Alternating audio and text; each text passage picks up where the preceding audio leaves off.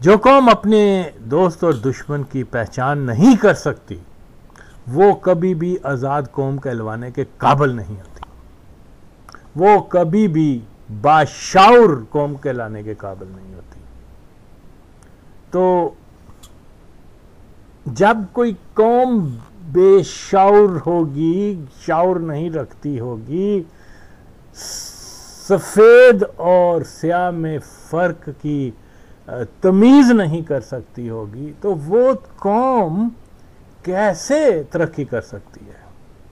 वो अपने मुल्क को कैसे एक मज़बूत, खुशहाल मुल्क बना सकती हैं? नामुमकिन है।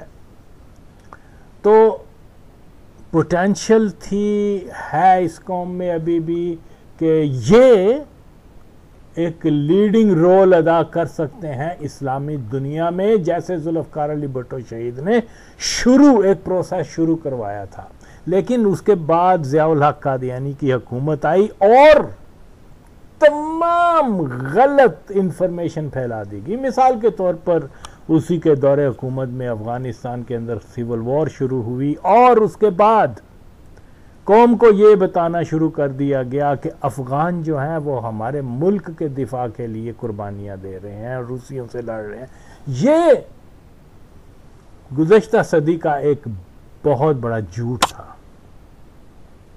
क्योंकि अनफॉर्चुनेटली अनफॉर्चुनेटली बदकिस्मती से अफगान फो, अफगान कौम, सौ फ़ीसद सौ फ़ीसद, वो हर हरगिज़ और हरगिज़ रोज़ अव्वल से, यानी 14 अगस्त उन्नीस सौ सैंतालीस से, पाकिस्तान से शदीद नफ़रत और पाकिस्तान को दुनिया के नक्शे से मिटाने के एक भरपूर जो है ना, एक तस्वर में है, इस सोच में है। वो कभी भी पाकिस्तान से वफादार, क्योंकि पाकिस्तान के वजूद को कबूल नहीं करते। और लेकिन इतना झूठ बोला गया ख़ास तौर पे औरिया मकबूल जान जैसे हराम ज़ादे कम बख्त या जाद हामद और दीगर माचोद ये आईएसआई और ये वो आईएसआई क्या है? हाँ, मरजई ने बनाई मरजई के काम आ रही है। तो भाई ये जो चीज़ें इन ताकत को जानने के बाद कौम अगर नहीं समझती तो क्या किया जा सकता है? देखिए मेरे पास तो कोई इतने वसाइल नहीं है। मेरे कोई इतने डीप कॉन्टेक्ट्स भी नहीं है। लेकिन ऑफ़ कोर्स जैसे ही मैं बताना शुरू हुआ कि तालिबान जो हैं, और आज से नहीं, कम अज कम एक अशरे से मैं बता रहा हूँ कि, ओ बहन चौदो, झूठ ना बोलो, तालिबान मुल्ला उमर से लेके मुल्ला यकूब तक की जो भी जनरेशन है, और ये सब पाक एंटी पाकिस्तान है और माँ चौदो और ये इंडियन के अलाई हैं इंडियंस को पसंद करते हैं नफरत करते हैं नफरत करते हैं नफरत करते हैं पाकिस्तान से और करते रहेंगे। लेकिन यहाँ क्या बताया गया कि जी वो तो हमारे बच्चे हैं वो जी वो तो हमारे आ, ये है वो है। सब माचोद कादियानी इस्टेब्लिशमेंट की गलत इंफॉर्मेशन जिसमें जमात गैर इस्लामी वगैरह उनके मावन बने और कौम को और फिर है, जी, जहाज़ जहाज़ जहाद अफ़गानिस्तान, यार जहाद कैसे था अफ़गानिस्तान के अंदर? शरीयत, देखो, मैं हमेशा बार कहता हूँ, लेकिन लोग फिर भी जहाज़ कह के गुनागार हो रहे हैं। आप जंग आज़ादी कह सकते हैं। एक, लेकिन अल्लाह के लिए जहाद का तो कि एक शर्त अफ़गानिस्तान के हालात में पूरी नहीं होती। और कोई आए तो सही, बताए तो सही कि नहीं नहीं नहीं, ये झूठ बोल रहा है। वाकई, इस्लामी नुक़ नज़र से ये जहाद था। कमाल हो गया। मैं पहले बता चुका हूँ, कई बार खोल खोल कर कि जनाब, ये जहाद नहीं था। ये, यानी इस्लामी यार कोई जहादी कोई जहादी जो है, मैं अगेन पूछता हूँ वोरिया से और इन माँ चौदों से, कोई जहादी एक दूसरे का गले काटता है? रशियंस के खिलाफ लड़ते हुए ये एक दूसरे को मारते थे। दोनों जहादी हैं हम्म? जिनको शिया को काफर कहा आगाहानियों को काफर कहा रशियन के खिलाफ लड़ रहे हैं तो वो मुजाहिद है। म, अगर वो गोली से मर गए तो शहीद हैं। अजीब सूरत हाल यानी कोई ड्रग्स बेच रहे हैं नाजायज असला बेच रहे हैं और क्या कुछ नहीं इन्होंने किया। तो उनको मुजाहिदीन का मुकदस नाम देना ये इस्लाम की बदनामी है कि नहीं ताड़ी भैन नूं कंजरी दे पुत्र। आओ बताओ। हम्म? यार मैंने जो कुछ अपनी आँखों से देखा हुआ है, आप लोग तस्वर नहीं कर सकते।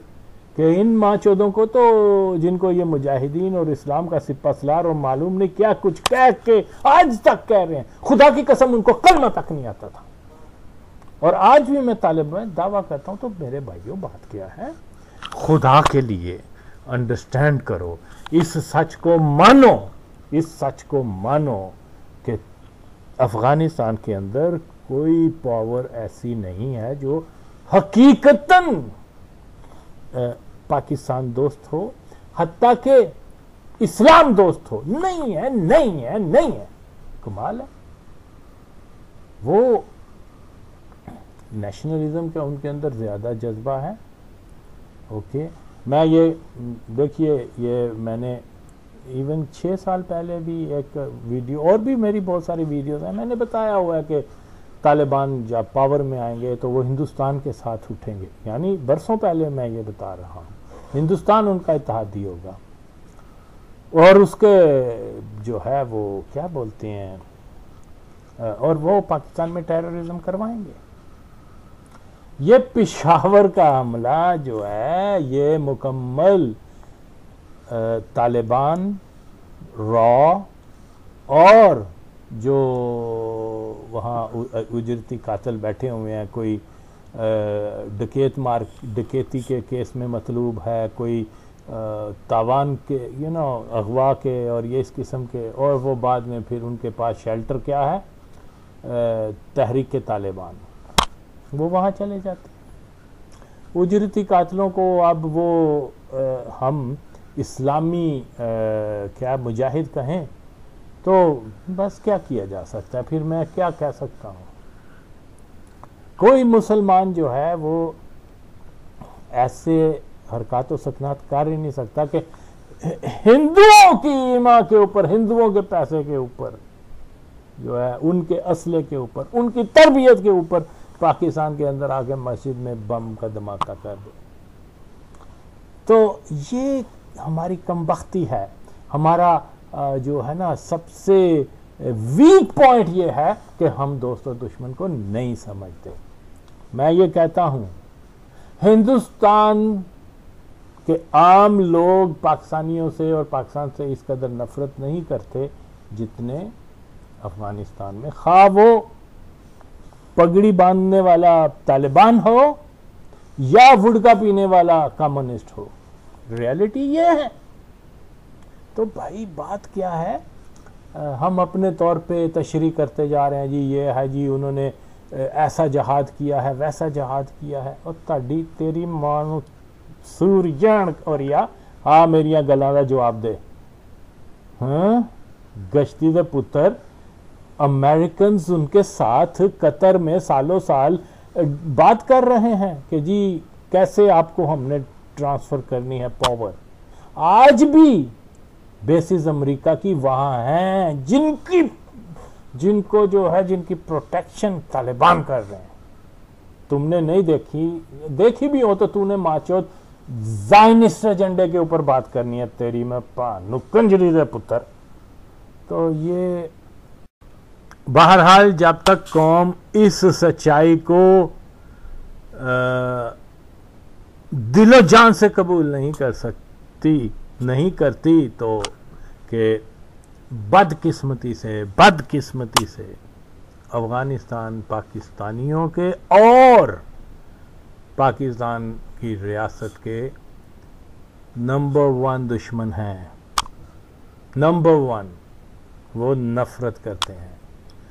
और मैं दावे से कहता हूँ, ये जो बच्चों को मारने का जो पिशावर के आर्मी स्कूल में जो भी वाक़या हुआ है, मैं दावे से कहता हूँ कि हिंदुस्तान, इसराइल, अमेरिका, कोई बड़े से बड़ी काफर कुवत को की इंटेलिजेंस को ये बताया जाता कि बच्चों को हमने ये करना है, मारना है तो वो रिफ्यूज करते हैं। माँ सिवाय एक इंटेलिजेंस एजेंसी वो अफ़गानिस्तान। की and they did it okay हमारे कादियानी जो हुक्मरान हैं, वो हकायक नहीं बताते। हमारे कादियानियों के जो एजेंट हैं, और या जाद हमद, और ये जनरल शुएब एंड हारून रशीद, गंजा हरामी बोंडी, ये फैक्ट्स नहीं बताएँगे। ये सिर्फ़ वही बात बताएँगे जो इनको जो है ना जाइनिस्ट एजेंडे के ऊपर जो भी होगी, वही।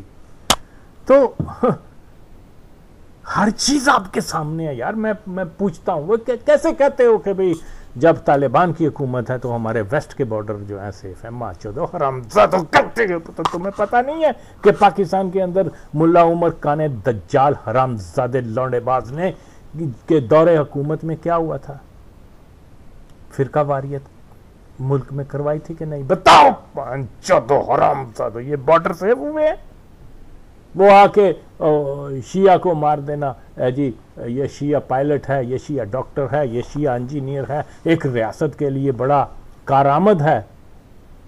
तो इसको मार दो, नुकसान रियासत का होगा।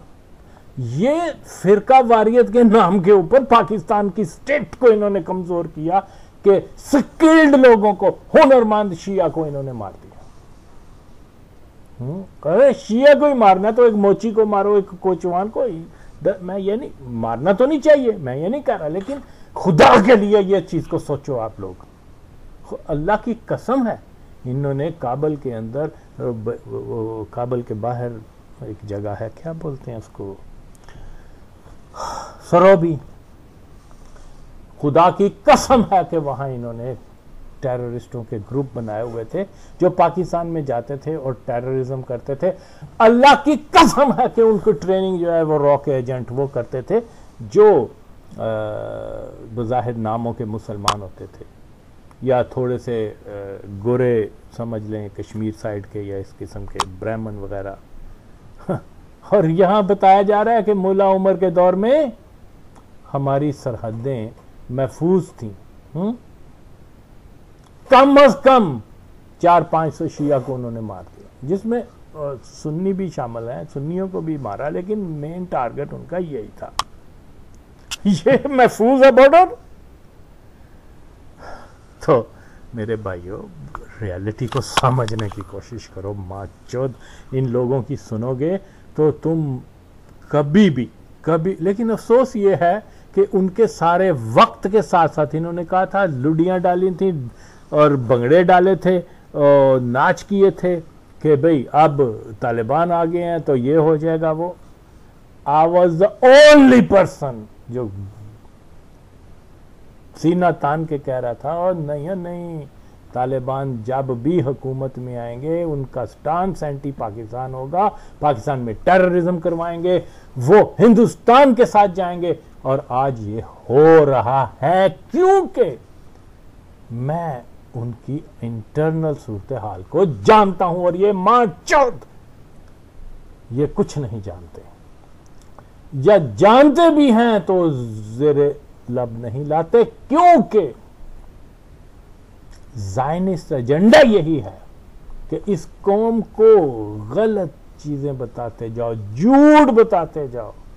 इनको बताओ कि तालिबान ही आपके सपोर्टर हैं। इनको बताओ कि तालिबान ही आपके बच्चे हैं। इनको बताओ कि तालिबान ही इस्लामिस्ट हैं। इनको बताओ कि तालिबान ही जो है वो खुरासान का लश्कर है। इनको बताओ कि तालिबान जो है वही इमाम मेहदी का लश्कर है। इनको बताओ कि तालिबान जो है वो हिंदुस्तान के खिलाफ गजवा क्या गजवा गजवा हिंद करो। और कौम हाँ, सुन रही है इन चीज़ों को। और ਤੁਹਾਡੀ ਭੈਣ ਨੂੰ ਜਿਨ लोगों को संजा करना नहीं आता भैन चौदह ਤੁਸੀਂ ਉਹਨਾਂ ਨੂੰ हजरत इमाम मैदी का लश्कर बता रहे हो और उस लश्कर में तो अल्लाह के ओलिया होंगे अबदाल होंगे और तुम इन लौंडेबाजों को जो बच्चों से शादी करना जिनका कल्चर अगर आप लोगों को ये चीजें नहीं पता तो आप अपने दुश्मन को नहीं पहचानते, आप रियलिटी को नहीं जानते। आप वही चीज़ें जो अस्सी की दहाई से शुरू हुई थी, कादियानी जनरल ज़िया के प्लानिंग के तहत कि जी ये मुजाहिद हैं, ये जहाद कर रहे हैं। जहाद क्या? मैं कई बार कह चुका हूँ, आए ना कोई माँ चौध हराम ज़्यादा मेरे सामने ये इस अफगान सिविल वॉर जो अस्सी की दहाई की थी या उसके बाद भी उसको इस्लामी शरिया के मुताबिक जहाज़ साबित करे तो मैं मानूं। क्या मत आ सकती है, ये नहीं कर सकते। लेकिन सब जहाज़ जहाज़ लगे हुए मैंने बहुत सारे अफगान स्कॉलर्स को भी और बहुत सारों को चैलेंज किया हुआ कि आए आपको शरीयत के मुताबिक अपनी जिसको आप जहाद जहाद भी नहीं कहना आता जहाद जाद तलतम जहाद तरागलेम जहाद क्यों? तो ये लोग जहाद करेंगे। जिनको, जो जानते नहीं। जो खुदा की कसम वहाँ का कल्चर है, आपस की कबीलों की जंगें जो है, उसमें वो ये कहते हैं कि जी, ये जहाद है। हुँ?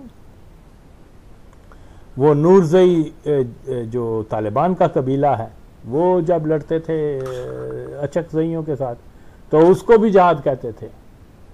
वो जनाब पोपल जई उधर दूसरे कबीले के साथ लड़ रहे हैं, और कोई ज़ाती दुश्मनियों के ऊपर। जहाद उसको भी बोल रहे हैं।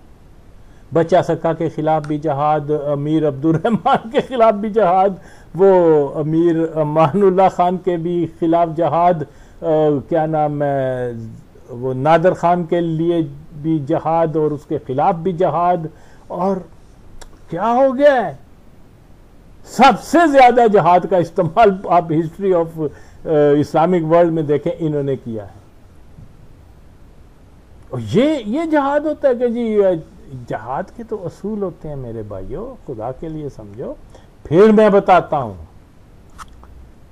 अगर कुफार की फौज ने इस्लामी मुल्क पर हमला करके उसको कब्जा कर लिया और वहाँ जो इस्लामी निज़ाम राइज है, जो इस्लामी कवानीन राइज हैं उस रियासत में इस्लामी रियासत में जिस पे कब्जा किया गया है, वो इस्लामी कानून जो हैं, वो ख़त्म करके, तमाम के तमाम उनकी जगह कुफरिया निज़ाम को जब आप लगाते हैं तो फिर हर जनो मर्द पे जहाद फ़र्ज़ है। ये अल्लाह कह रहा है। ला इला मोहम्मद रसूलुल्लाह। जब रशियन आर्मी वहाँ थी, मैं गवाह हूँ इस चीज़ का। जो वहाँ अजान होती थी, वो बकायदा पाँच वक्त अजान होती थी। निकाह इस्लामी तरीके से ख़तने इस्लामी तरीके से रोज़ा, हज जुमा ये जो पहले से दाऊद खान के वक्त से जो चीज़ें राइज थी, ज़ाहिर शाह के वक्त से जो इस्लामी कवानीन वहाँ राइज थे, एक को भी ख़त्म नहीं किया गया। एक कानून को ख़त्म करने के करके तो उसकी जगह कुफरिया निज़ाम नहीं लागू किया गया। मैं इसका गवाह हूँ। कोई मस्जिदों को ताले नहीं लगे। नमाज़ जो लोग पढ़ने, पढ़ते थे, वो पढ़ते हैं। जो दाऊद के ज़माने में भी मस्जिद में जाते थे तो कम्युनिस्टों के ज़माने में भी मस्जिद में जाते थे।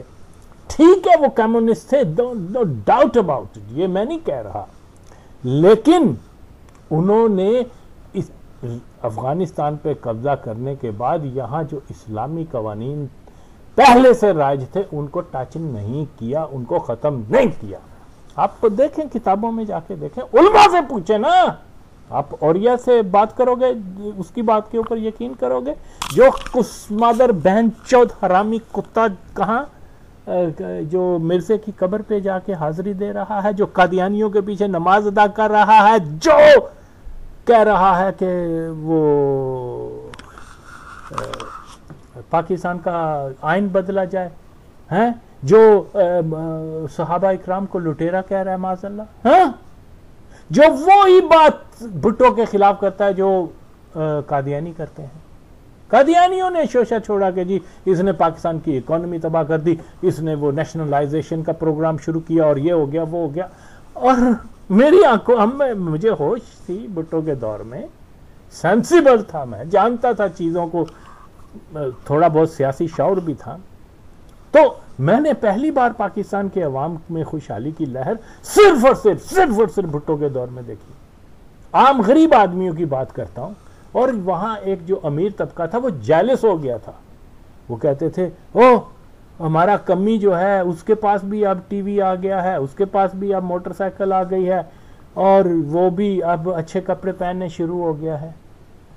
इन सारी हकीकतों के बाद अगर कोई, और भुट्टो ने नेशनलाइजेशन की, उसका सबसे ज़्यादा शिकार जो है वो कादियानी बने, क्योंकि पाकिस्तान के सरमाए के, पाकिस्तान के सोर्सेस के, पाकिस्तान के जो हर किस्म की पैदावार है नब्बे फ़ीसद से ज़्यादा उसके ओनरशिप जो थी, वो कादियानियों की थी, आज सौ फ़ीसद हो गई हुई है। तो यानी अब अब कादियानियों के स्कूलों को जो है, मुझे बताएँ जहाँ कादियानियत की तालीम दी जा रही है, अगर भुट्टो ने नेशनलाइज करके उसके ऊपर जो है, उनकी तालीम को खत्म करवा के तो इस्लामी तालीम वहाँ देनी शुरू की तो बताएँ, किसको डंडा दिया? डंडा कादियानियों को दिया, और दर्द हो रही है जाद अहमद के के पीछे और औरिया मकबूल जान के पीछे? हम्म? यार एक बात का ये मेरी जवाब नहीं दे सकते। मैं कोई दानश्वर नहीं मैं तो एक ले मैं नाम आम आदमी। आए तो सही पहन चौथ अगर ये अपनी आ, हलाल के ही। है लेकिन गलती इनकी भी नहीं है। इनकी माओ ने जो है वो बिस्यार बिस्यार हम बिस्तरी कादियानियों से की और ये पैदा हुए माँ चौथ तो भाई जो माछोद अपनी माँ की गैरत नहीं रखता, मेरी बात का जवाब नहीं देता। आप देखें, वो किस कदर माछोद बेगैर शख्स होंगे। तो फिर तो बाबा तालिबान के दौर हुकूमत में आज के लोग सुने नाइन्टीज की बात है, कल की बात है ना? खुदा की कसम, तालिबान ने जड़पें की पाकिस्तान के जब ये मुला उमर की भी हुकूमत थी। फायरिंग किया करते थे पाकिस्तान के वो जो बॉर्डर सिक्योरिटी वालों के। ओके? और इन्होंने बकायदा तौर पर, बकायदा तौर पर वो पाकिस्तानी जो वहाँ गए हुए थे, क्या बोलते हैं, इनके लिए लड़ने के लिए रशियन जब अमेरिकन आए हैं, खुदा की कसम इन्होंने उनके सरों की कीमत लगाई है कि भाई वो मुल्ला खाकसार वगैरह, ये सारे हिंदुस्तानी एजेंट थे। और इन्होंने कहा, वहाँ वहाँ वहाँ, बैठे हैं पाकिस्तानी, मारो इनको जाकर। तुम माचो तो इनको जादी कह रहे हो, ताड़ी भैन। कंजरी पुत्रो, आप तहकीक तो करें किला जंगी में कितने ओरिजिनल जो अफगान तालिबान है, वो कितने मारे गए और कितने पाकिस्तानी मारे गए, कितने अरब मारे गए, या कितने? इनको तुम जाती कहते हो जो माचो डॉलर के बदले उन लोगों को मरवा रहे हैं जो लोग इनके दिफा के लिए आए थे? खुद माचो ये दिन की रोशनी में वो काबल छोड़ के बगैर जो फॉरेन सो कॉल्ड वो आए हुए थे बेचारे, उनको इतला दिए बगैर भाग गया ये सच है कि नहीं? और कोई इसको झूठ साबित करके बताए तो मैं मानू। चलो तुमने क्या ये जहादी होते हैं? तो बाबा, बात क्या है? हमारे लोग नहीं इन चीज़ों को समझते। और मौलवी लगे हुए हैं कुछ मादर हराम ज़्यादा गस्ती के पुत्र। ओ, तालिबान जो है, वो अब इस्लाम लेके आएँगे। वो, ये, जी, ये ये ये। और माँ चो इनको कलमा पढ़ना नहीं आता, ये इस्लाम लेके आएँगे और तुम ये। तो तो बहरहाल, बात क्या है? अब जो मैं ये कहता था, ये इस, ये एक वीडियो लिंक है, बहुत सारे हैं, लेकिन मैं मिसाल के तौर पर एक छोड़ के जा रहा हूँ, इसकी कटिंग। आप भी सुन लें। आखिर में सुन लीजिएगा कि ये तालिबान के ये जो मैं कहता था कि अमेरिकन जो हैं, इनको पावरफुल बनाने आए हैं, इनको पावर ट्रांसफ़र करेंगे और उसके बाद इस खत्े में टेररिज्म पाकिस्तान के ख़िलाफ़ शुरू करवाएँगे, हिंदुस्तान के साथ मिलेंगे and that what is happening और रही बात, इन माचदों को क्या पता हो?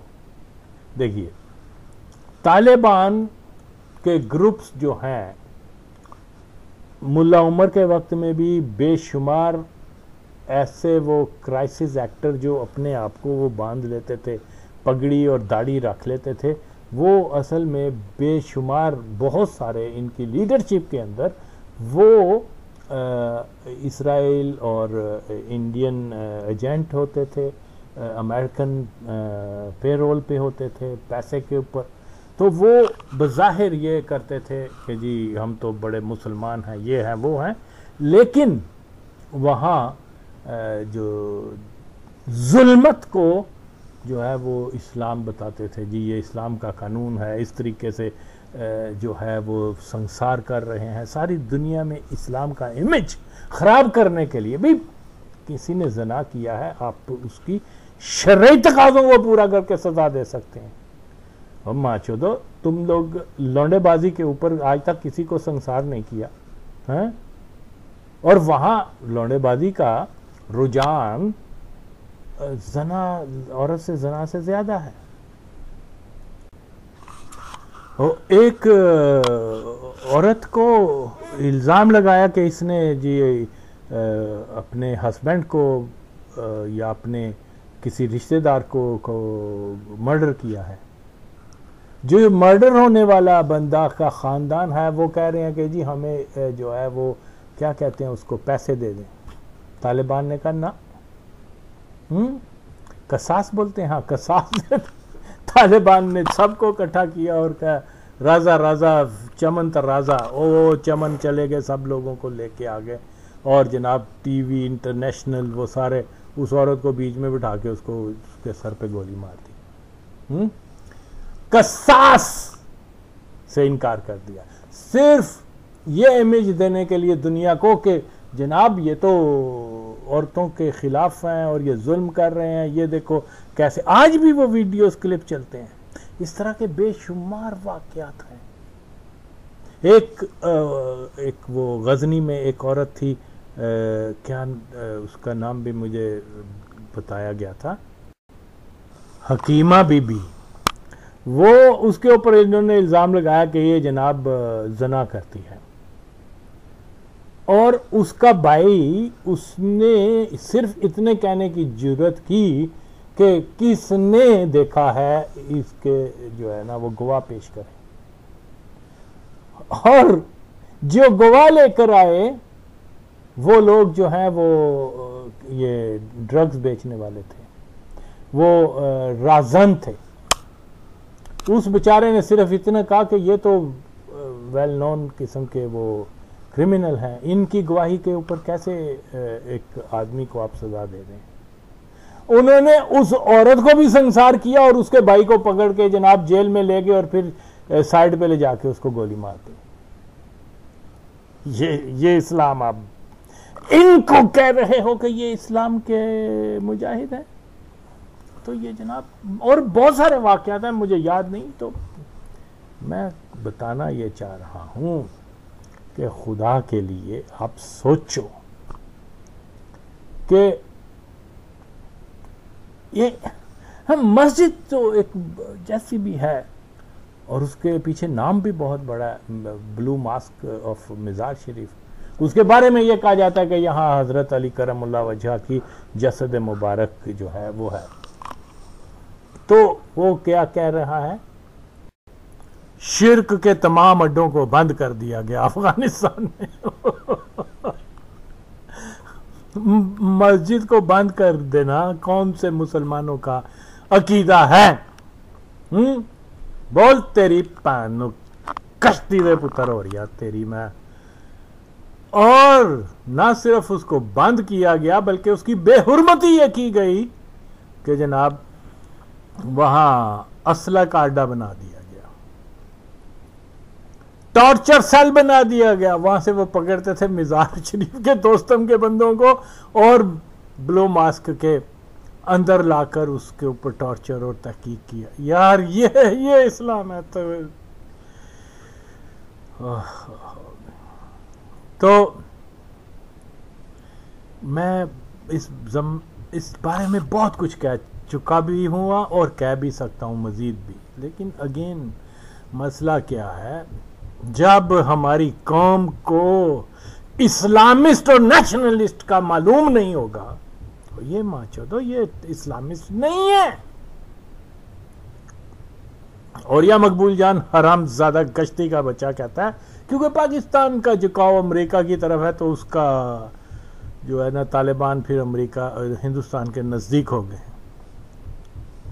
यानी शरीयत और पक्के मुसलमान होने का दावा भी ये करते हैं। और फिर कौन से अकीदा इस्लामिया में है कि अगर एक आपका दुश्मन बन गया है या आपके मुखालफत में चला गया है तो आप अपने इतिहाद मुशरकिन से कर लें। दस तेरी कजरी दे पुत्र हो रही बता।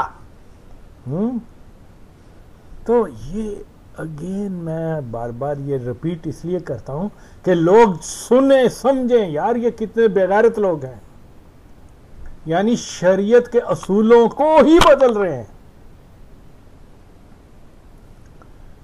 दावा ये करते हैं, या शरीयत का आगे हमने शरीयत नाफद की है। और हराम ज़्यादा क्या कर रहे हैं? मुशरकों के साथ दोस्तियाँ कर रहे हैं। जो अल्लाह के सबसे बड़े दुश्मन हैं। हम्म? उनको कह रहे हैं, मुशरकिन को, जो कश्मीर के अंदर कलमा गो के गले काट रहे हैं, जो हिंदुस्तान के मुसलमानों की ज़िंदगी जिन्होंने जबरान क्या जो है ना, वो अजियतनाक बना दी है। जो मस्जिदों को डिस्ट्रॉय कर रहे हैं, जो जनाब मुसलमानों की हर चीज़ को वहाँ बदल रहे हैं, और ये करते के पुत्र। हराम ज़्यादा तालिबान, उन हिंदुओं को कह रहे हैं, देखो हिंदुस्तान वाला जमा रोड़ दे। कंजरी दे पुत्रो। किस शरीयत के? ये शरीयत है तुम्हारी, माँ चदो। हिंदू विजिटर वहाँ चला जाए, उसको जनाब ये वेलकम करते हैं। मुसलमान पाकिस्तानी चला जाए, उसको जेल में कर देते हैं। यार ये कुमाल है, मैं हैरान हूँ कि लोग कैसे इन हरामियों को फॉलो करते हैं। यानी इतनी शॉर्ट मेमोरीज हैं आपकी। आप जानते नहीं हैं कि क्या क्या जब ये नॉर्दर्न अलाइन वाले 2001 में आ, काबल में एंटर हुए हैं। उनको एड्रेसेस बता दिए गए थे कि यहाँ पंजाबी तालिबान है यहाँ सवाती तालिबान है इनको जाके पकड़ो और मारो। हम्म और उन्होंने लाशों की बेहरमती इनकी की। और तालिबान उस वक्त कहाँ थे? कंधार भाग गए हुए थे। यानी लोकल तालिबान। ये जहाद है यार। यार, ये जहाद है। ताड़ी लेकिन कौम अगर इन लोगों को सुन सुन के और फिर, यार, इनको अपनी मेमोरी, आप अपने दिमाग लड़ाएँ यार। क्या है मुसलमान ऐसे होते हैं? एक बात का जवाब मेरे नहीं दे सकते। तो फिर जहाद का, हर वक्त जहाद जहाद जहाद। मुझे आज तक किसी अफगान स्कॉलर ने तो इसका मेरा जवाब नहीं दिया कि अब, और ना ही कोई दे सकता, क्योंकि मैं बात कर रहा हूँ, अल्लाह के कानून की, अल्लाह का कानून यही है। कुफार आए, आप, उन्होंने इस्लामी निज़ाम को ख़त्म कर दिया, और उसकी जगह कुफरिया निज़ाम लगा दिया, जहाद वाजब है। अफ़गानिस्तान में ऐसा नहीं हुआ था। हम्म? अफ़गानिस्तान जहाद? एक कमांडर होता है तरदीप तुम लोग तो शरीयत को बदल रहे हो। एक सिप्पा सलार है जहाद का। और यहाँ कौन है? हिकमत यार सिप्पा सलार है रुबानी सिप्पा सलार है वो मोहम्मद नबी। नाम देखो मोहम्मद नबी। और वो जहादी बना हुआ है। यार अल्लाह मोहम्मद नबी हाँ, जिनको इतनी सेंस नहीं है कि मोहम्मद नबी एक आम आदमी का नाम नहीं हो सकता। और वहाँ ये नाम पॉपुलर है। फिर कहता हूँ, जाओ क्रिकेट के प्लेयर को देखो। मैंने तो और बहुत सारे, मैं हैरान होता था, किसी ने अपना नाम हज़रत उमर रखा हुआ था, किसी ने अपना हज़रत अली रखा हुआ किसी यार, ये निस्बतें, ये नाम हमने मुकद्दस हस्तियों के रखे हुए हैं, ओके? एक चर्च पीने वाला भी, उसका नाम भी हज़रत अली बन गया है, हैं? बगल में बच्चा है तो उसको कह रहे हैं कि मोहम्मद नबी इसका नाम है। यार, क्या क्या है?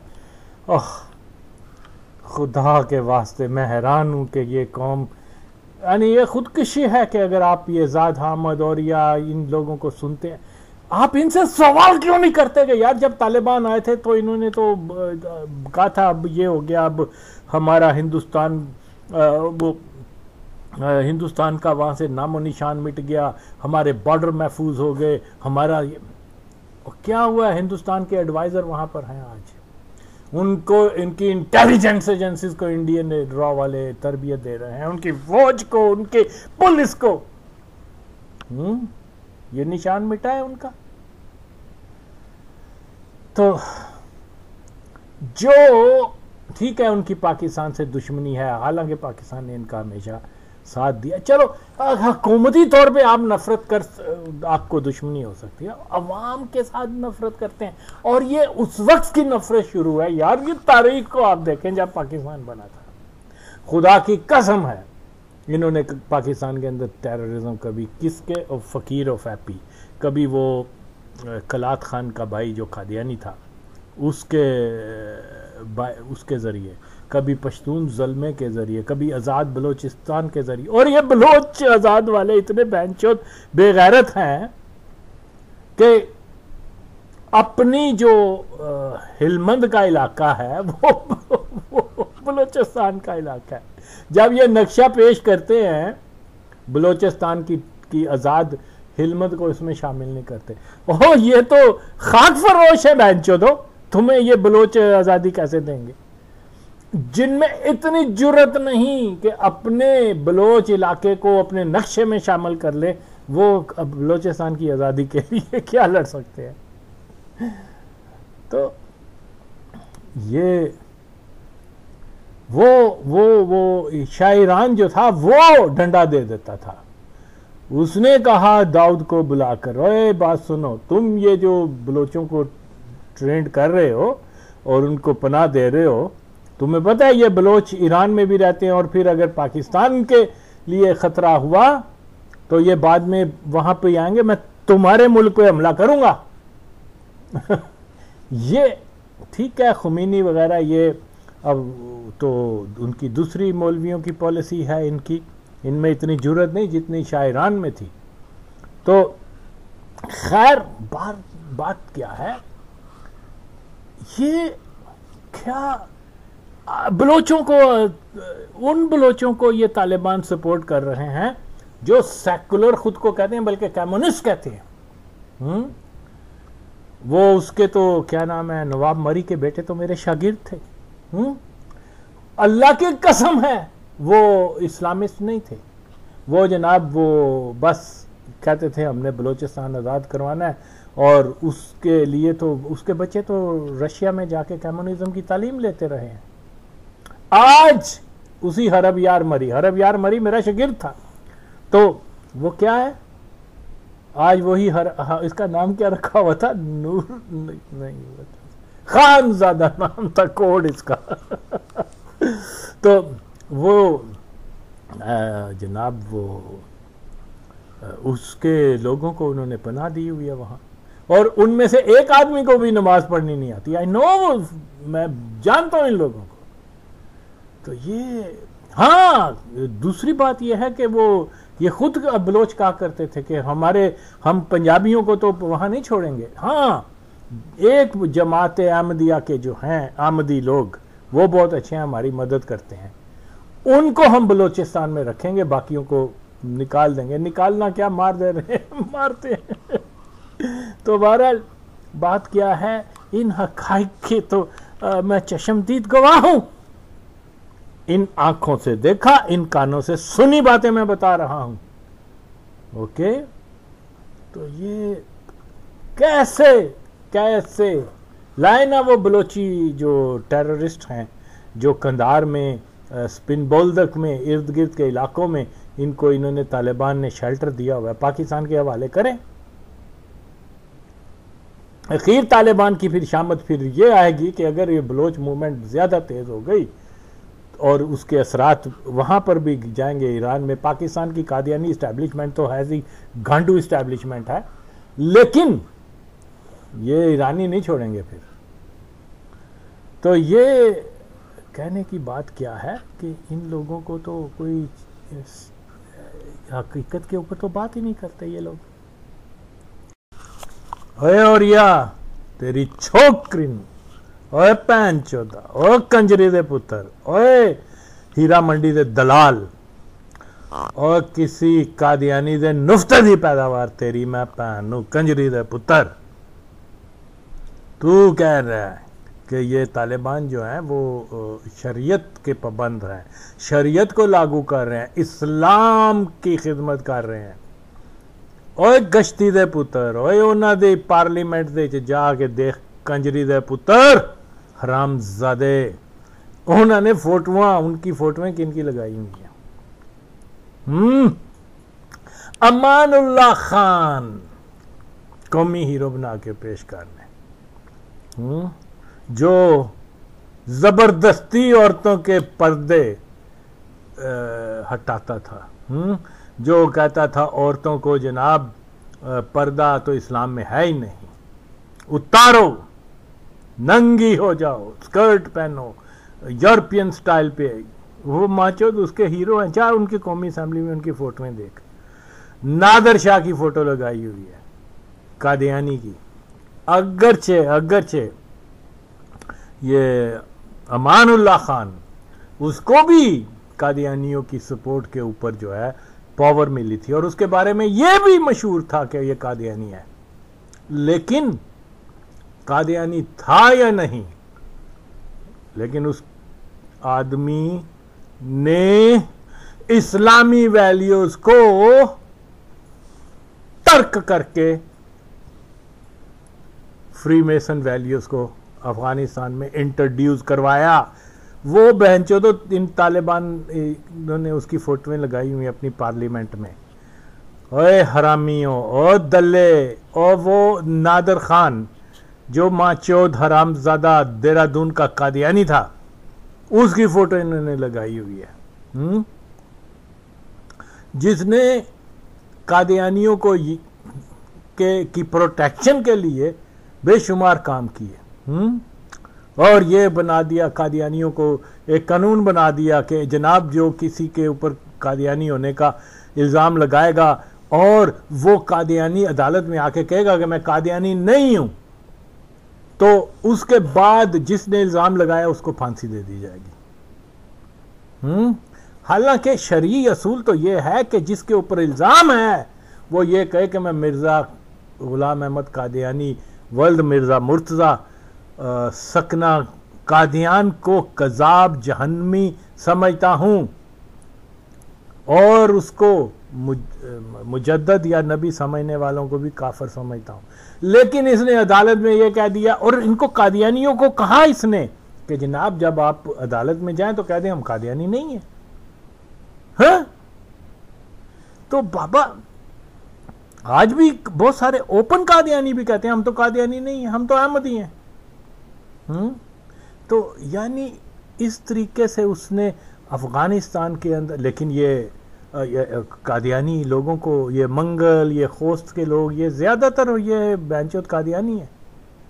बड़ी बड़ी पोस्टें उसने दी और ये किया और वो कौमी असम्बली में इनकी उसकी फ़ोटो लगी हुई है। अमीर हबीबुर रहमान अब्दुल रहमान उसकी फ़ोटो लगी हुई। जिसने बागे बाला या बाले बाला यस एक अब, अब तो वहाँ रेस्टोरेंट था उस जमाने में जब हम वहाँ थे वो सिर्फ़ इसलिए बनाया था कि वो अब छोटे बच्चों के साथ बदफेली करे। हाँ? हरम था वो छोटे बच्चों के साथ बदफेली करने का। उसकी फ़ोटो लगाई हुई है बहन चौधों ने। हम्म? जिसकी बीवी एक अंग्रेज़ के साथ मिली हुई थी डॉक्टर के साथ।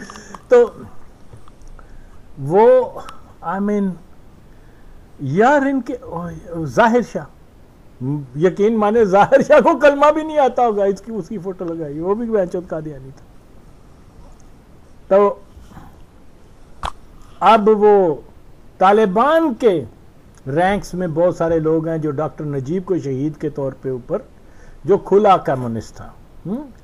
ये है जी इनकी शरीयत है जी, इतराज करते हैं जी, पाकिस्तान ने हमले किए, पाकिस्तान से ड्रोन उठते थे और ये मारते थे अफगानों को हाँ और जिन, जिस तरकई ने हामद करजई ने सॉरी यस हामद करजई ने पूरा अफ़गानिस्तान जो है अमेरिकन को दे दिया, जहाँ से जहाज़ आते थे, जहाँ से मिलिट्री बेसिस मिलिट्री बेसिस क्या अमेरिकन मिलिट्री बेसिस जो थे वहाँ से अमेरिकन फौजी उठ के तो अफगानों को नहीं मारते थे। आम अफगानों को, तालिबान को तो नहीं मारते थे तो आम अफगानों को, गरीब मातर सादे बेचारों को हुँ? और वो प्रिंस, वो डियाना का बेटा क्या कह रहा है? कि मैं कंधार से फ्लाई करके गया था तो 40-50 अफगानों को मार दिया था। और किसके दौर में? किसकी रजामंदी के साथ? हामद करजई की। आज हामद करजई को उन्होंने अपनी बगल में डाला हुआ है। आओ जी हामद करजई साहब ये करो और वो करो। उसको मुकम्मल प्रोटेक्शन दी हुई है? हम्म? वो उनका मशर बना हुआ है। क्योंकि सच्चाई कुछ और है। देखिए अमेरिकन वहाँ आए हैं। अगरचे उससे पहले भी तालिबान के रैंक्स के अंदर आ, इंडियन रॉ और उन इंडियन एजेंसीज के बेशुमार लोग शामिल थे।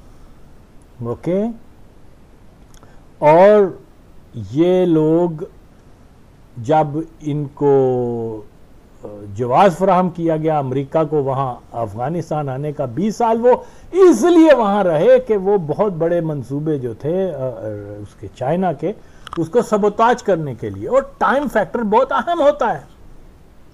20 साल उन्होंने अपनी फौजें वहाँ रखी अफ़गानिस्तान में। और वो जो रोड एंड बेल्ट उनका जो बहुत बड़ा एक प्रोजेक्ट था 20 साल तक होल्ड किया, ये कम नुकसान है? तुम कहते हो जी, ये वो। तो इसलिए वो आए थे। और अफ़गानिस्तान के अंदर तालिबान के रैंक्स में अपने जासूस, अपने लोगों को तालिबान, जबल उल सराज, कंधार, बगराम, यहाँ आज भी अमेरिकन ट्रूप्स हैं स्पेशली वाह खान में, जिनकी प्रोटेक्शन ये तालिबान कर रहे हैं। तू पैन, चौदह ओरिया और जाद अहमद, तू कह रहा है कि ये एंटी अमेरिका है। खुदा की कसम, डेली वहाँ से फ्लाई करते हैं ये ये ये ये ये ये अमेरिकन प्लेन्स बगराम से, कंधार से। हम्म और ये कह रहे हैं, जी, वो तो उन्होंने उसको शिकस्त दी। है इतना जदीद असला बैन, चौदह वो छोड़ के गए। किसके लिए, जिसके जिस, जो जो जो जो जो जो आज तहरीक क्या कहते हैं, तालिबान पाकिस्तान के हाथों में है, जिसकी लंबी रेंज है, जो नाइट विजन रखते हैं, जो जनाब स्नाइपर में बड़े एक्यूरेट हैं। नो डाउट के वेस्ट का जो असले की जो टेक्नोलॉजी है, वो बहुत पेशरफ है। और ये उनको दे के गए आज वो पाकिस्तान के गरीब फौजी और पुलिस वाले उससे निशाना बन रहे हैं। लेकिन कहा जा रहा है कि अमेरिका को इन्होंने शिकस्त दी। भाई, बोलते जाओ, झूठ माँ चौदो हराम ज़्यादा तुम्हें अपनी माओ की शर्म नहीं है कि आगा वसीम कह रहा अगर हलाली हो तो आओ, मेरी बातों का जवाब दो। तो और या तुम्हें और किसकी शर्म हो सकती है? किसी चीज़ की नहीं। तो भाई, मैं, मुझे एक दोस्त अफगानी ने बताया बहरहाल अगर से दोस्त तो खैर, चले। मान लिया। अफगान ने मुझे बताया कि ये, तुम ये फला फला आदमी को जानते हो, क्योंकि तुम भी उसी दौर में जो है, वो काबुल में रहते थे। उसने जब मुझे नाम बताया तो सच्ची बात है, मुझे नाम याद नहीं था। फिर उसने एक पुरानी फ़ोटो मुझे भेजी और उसने कहा, इसमें ये बंदा जो है, फोर्थ जो बैठा हुआ है, ये तो मुझे याद आ गया हाँ यार, मैंने इसको कहा कि मुझे इसका असल नाम याद नहीं है, लेकिन मैंने इसका वो चेहरा देख लिया है। हाँ ये किसी खाद की रियासत का कोई अफसर था जो चाँद एक बार हमें भी मिलने आया था। उसने बताया कि हाँ बिल्कुल ठीक, ये वही बंदा है, इसका नाम गुंदी था, गूंदी। हकीम गुंदी, उसका पूरा नाम था। तो नाम से क्योंकि मुझे पता नहीं था, क्योंकि जो खाद के अफसरान होते थे, ज़्यादातर वो अपने नाम भी हमें मुख्तलिफ़ बताया करते थे। तो मैंने वो फ़ोटो जब क्लियरली देख ली, फिर उसने मुझे एक और फ़ोटो भेजी। एक बारिश और सर पे पगड़ी बांधे हुए और मौलवी साहब और ये, मैं कहता ये जानते हो? मैंने कहा, मुझे नहीं पता। कहता ये हकीम गुंदी है। उसने बोला कि, ई तालब शुदा मैं बड़ा हैरान हुआ और वाकई वही था।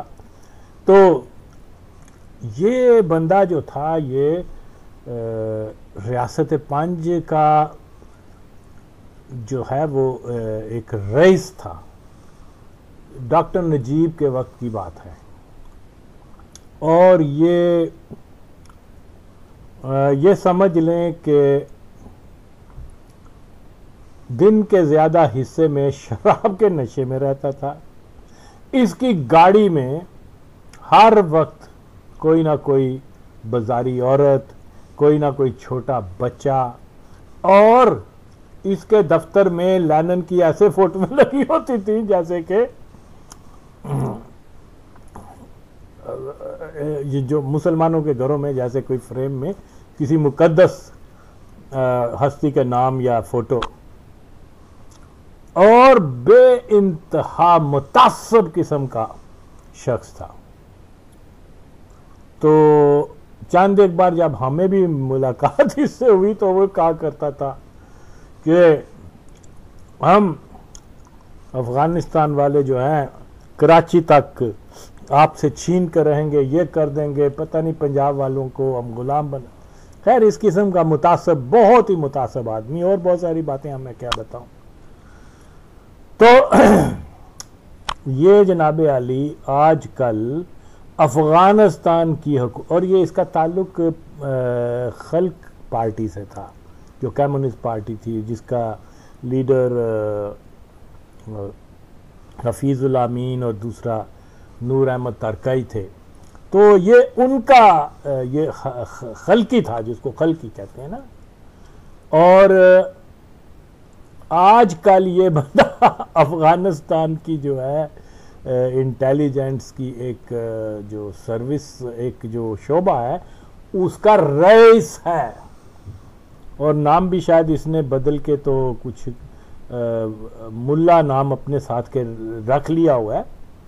तो ये सब के सब ये खलकी ख़ास तौर पे जो पश्तू फैमिली से ताल्लुक़ रखते थे उन्होंने जब नजीब की हुकूमत ख़त्म हुई है तो वो ज़्यादातर ये गुलबदीन के पार्टी में चले गए थे कि वो नस्ल एक होने की वजह से।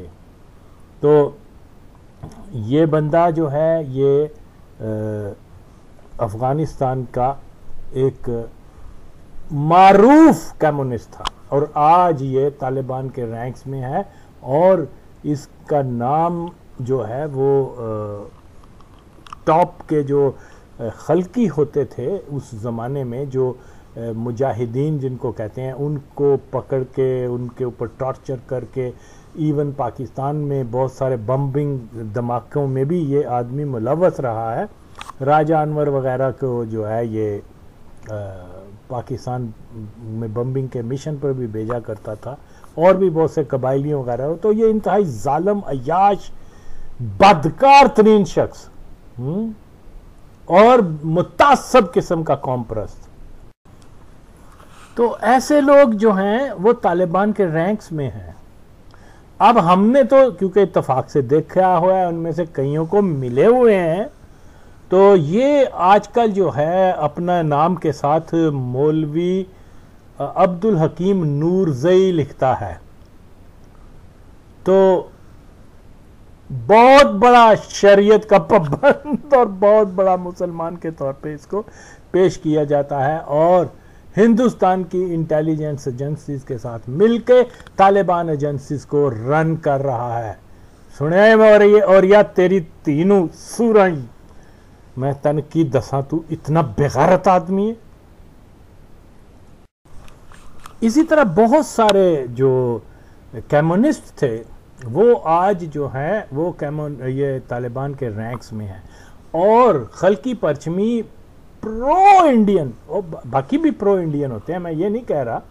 लेकिन क्योंकि इनको देखा हुआ है, इनसे मिले हुए हैं, इसलिए हम जानते हैं कि ये हिंदुस्तान के जो क्या कहते हैं, किसी मंदिर की अगर मिट्टी इनके पास आ जाए तो उसको भी वो कदस समझते हैं।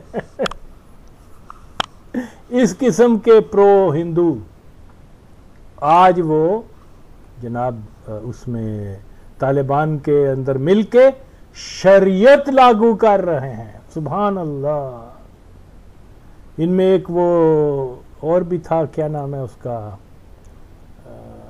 वो रियासत अव्वल का रईस था, मेहनपुर उसका नाम था। वो उसका मॉडर्न लाइफस्टाइल विस्की पीना, अभी मेरे ख्याल में अमेरिका या लंदन में रहता है। तो वो एडवाइस करता है हिडन तौर पे उसने भी वो इन्वॉल्व रहा है। क्या कहते हैं कतर के जो प्रोसेस में जो तालिबान को आप पावर दे के चले जाएँ। तो उसका पर्सनल लाइफस्टाइल बिल्कुल यूरोपियन की तरह है। सुना यह है कि वो पिग भी खाता है ड्रिंक भी करता है। लेकिन आ, ये एक हिडन एजेंट के तौर के ऊपर अमेरिकन और तालिबान की आपस में कोई दोस्ती करवाने का या कोई कोई पैचअप और ये वो पूरा नाम मुझे अब याद नहीं, उसका मेहनपुर के नाम से याद करते थे। और ये रईस था खाद का अर्ली एटीज़ में जलालाबाद में। तो हमारी सबसे पहले मुलाकात इसी से जलालाबाद में हुई थी, दिसंबर 1981 में। तो बहरहाल इसके अलावा और भी बहुत सारे वेरी फ़ेमस प्रोमिनेंट का जो परचमी, खलकी था बब्रक शनवारी, वो आज तालिबान के रैंक्स में है और एक बड़ा अहदेदार मिला हुआ है। उसको इसी तरह अकबर नामी एक और कम्युनिस्ट था, खलकी ये था लोगर का, और ये बड़ा ालम किस्म का माना जाता था। ये लोगों को तहकीक जिनको पकड़ता था ना तो विद इन फाइव मिनट उनका फैसला कर देता। फैसला क्या करता था? सर पे गोली मार देता था। यानी मुजाहिदीन को, जो अपनी तरफ़ से इस्लाम के लिए जंग कर रहे हैं, ये आज तालिबान का जो है, आँख का तारा है और उसको एक बड़ा ओहदा दिया हुआ है पुलिस के अंदर। ये एक और आदमी था, उसका क्या काका मुराद खान। अब उसका नाम जो है, वो मौलवी उसके अपने नाम के साथ लिखा हुआ है, मुराद अब्दुल्ला। उसका नाम है और ये तालिबान को की एक, जो कैंटोनमेंट एरिया की फ़ौज का, ये ये क्योंकि हिंदुस्तान से ये खलकी पश्चिमी दौर में, ये अम्बेसी में था हिंदुस्तान दिल्ली की अम्बेसी में कोई अफसर था या कुछ था, आज ये जनाब वो उनको मुजाहिद तालिबान को ट्रेंड कर रहा है मिलिट्री के लिए। इसी तरह से वो और बहुत सारे, मुझे बताए गए और जो बिल्कुल कंफर्म है, ये कोई ऐसी बात नहीं है, बल्कि एक आदमी जिसको ये कहते हैं रूहानी खान या आगा रूहानी खान, ये भी कटर कम्युनिस्ट था और ये अपने जुल्म में बहुत मशहूर था।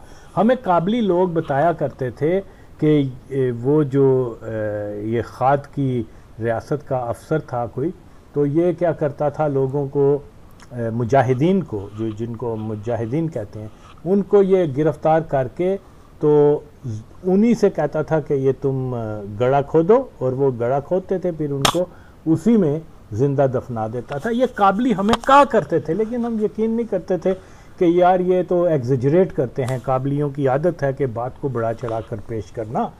तो लेकिन फैक्ट्स जो हैं, वो तहकीक के बाद पता चलते हैं कि यस जो वो ये कह रहे थे कि इसी तरह करता है, वो इनमें शामिल है।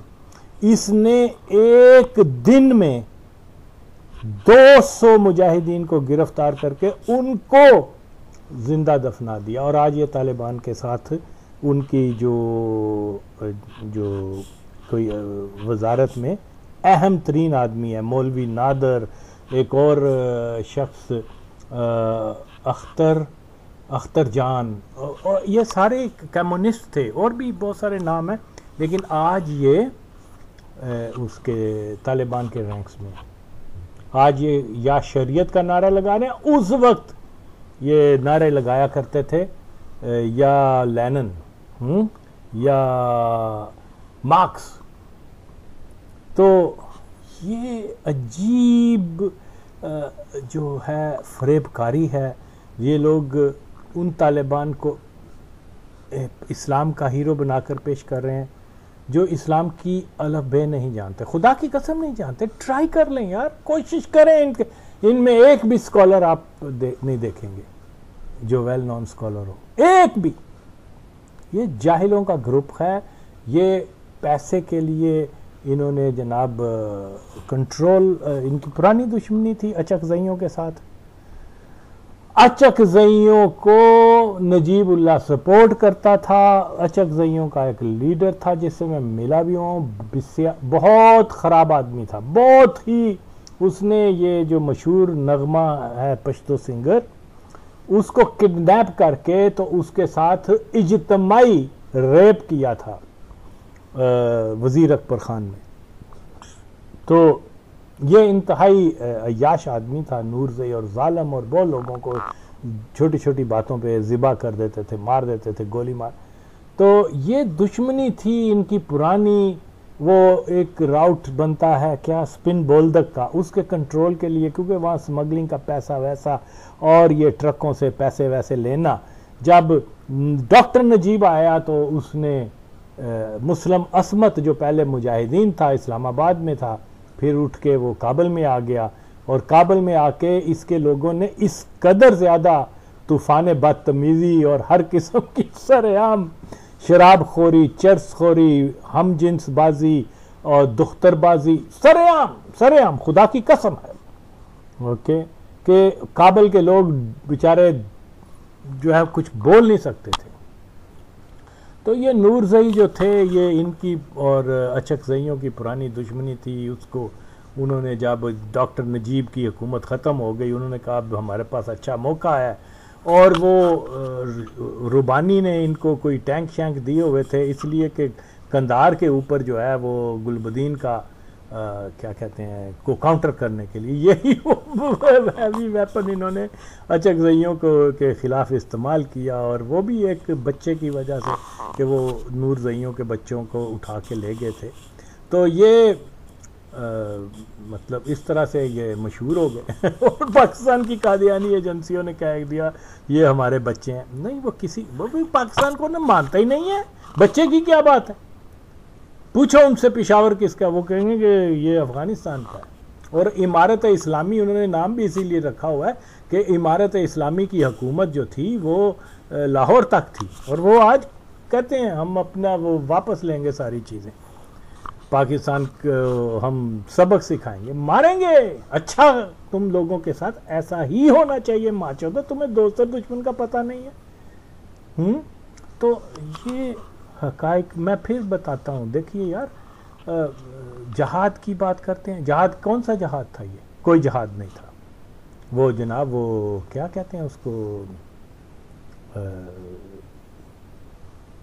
इनके तो 24 डिफरेंट ग्रुप्स थे। हाँ? क्या जहाद की ये शर्त नहीं है कि उसका एक एक एक एक, एक कमांडर या एक सिपा सलार हो? बताओ! तुम किस सूरत में कह रहे हो जहाद था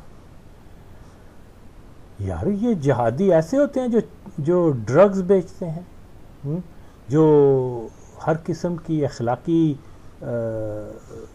बदमालियों में इन्वॉल्व हों हाँ या अल्लाह, मुझे समझ नहीं आती ये जहादियों का नाम बदनाम करने के लिए ये इनको जहादी कहा जा रहा है कौन सी अखलाकी बुराई इनमें नहीं थी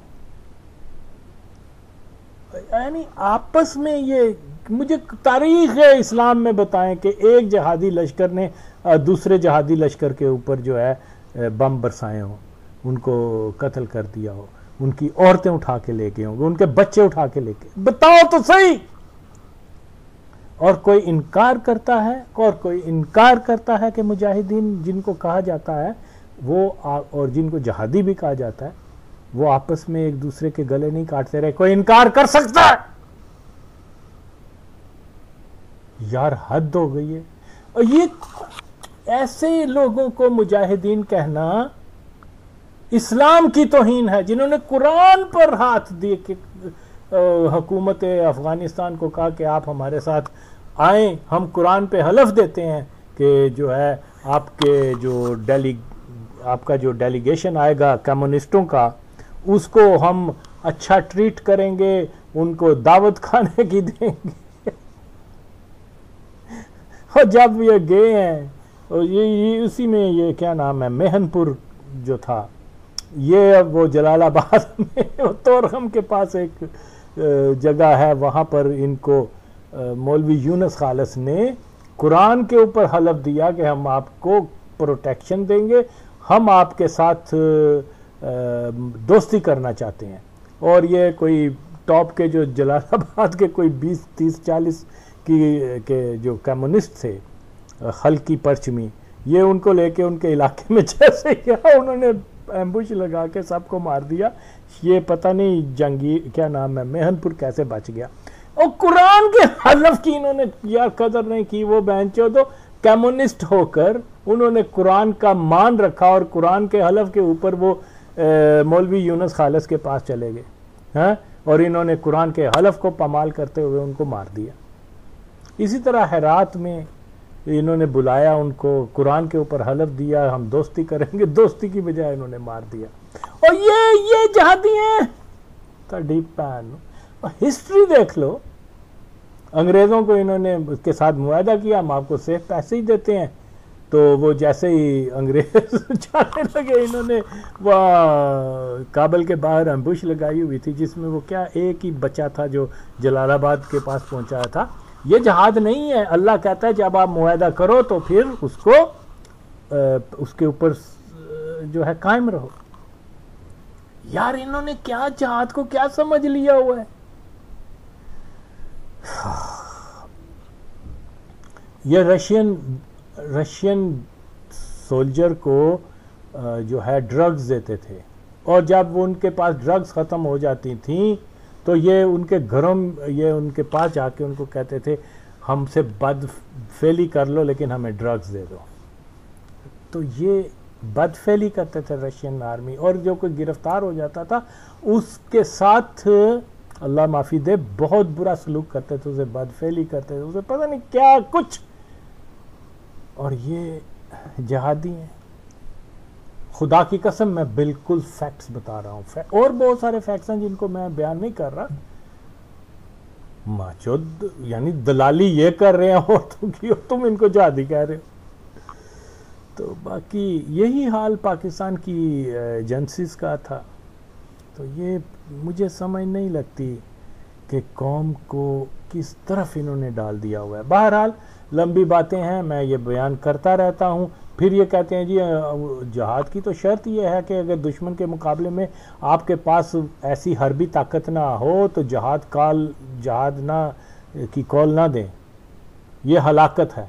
ये कह रहे हैं, हमारे पास गुलेलें थी और डंडे थे, पत्थर थे तो रशियन के पास टैंक थे तो फिर भी हमने जहाद किया। अल्लाह तो कहता है, ऐसा जहाद ऐसी सूरत हाल में जहाद को आप नहीं फतवा जहाद का दे सकते अब अल्लाह की बात मानोगे या मौलवी जो है, क्या नाम है उसका काना दजाल हरामी या उसका बच्चा, औरिया मकबूल जान, इनकी बात को मानोगे? और कुछ तो ख्याल करो, जवाब दो ना। जिस चीज़ को आप कह रहे हो कि जी, जिनके पास डंडे थे, उन्होंने रशियन सुपर जो उनके सुपीरियर वेपन्स के बावजूद उनको जनाब जहाद के नाम के ऊपर शिकस्त दे दी। अल्लाह तो कहता है, ऐसे जहाद करो ही ना। और बताओ ना, मैं गलत कह रहा हूँ?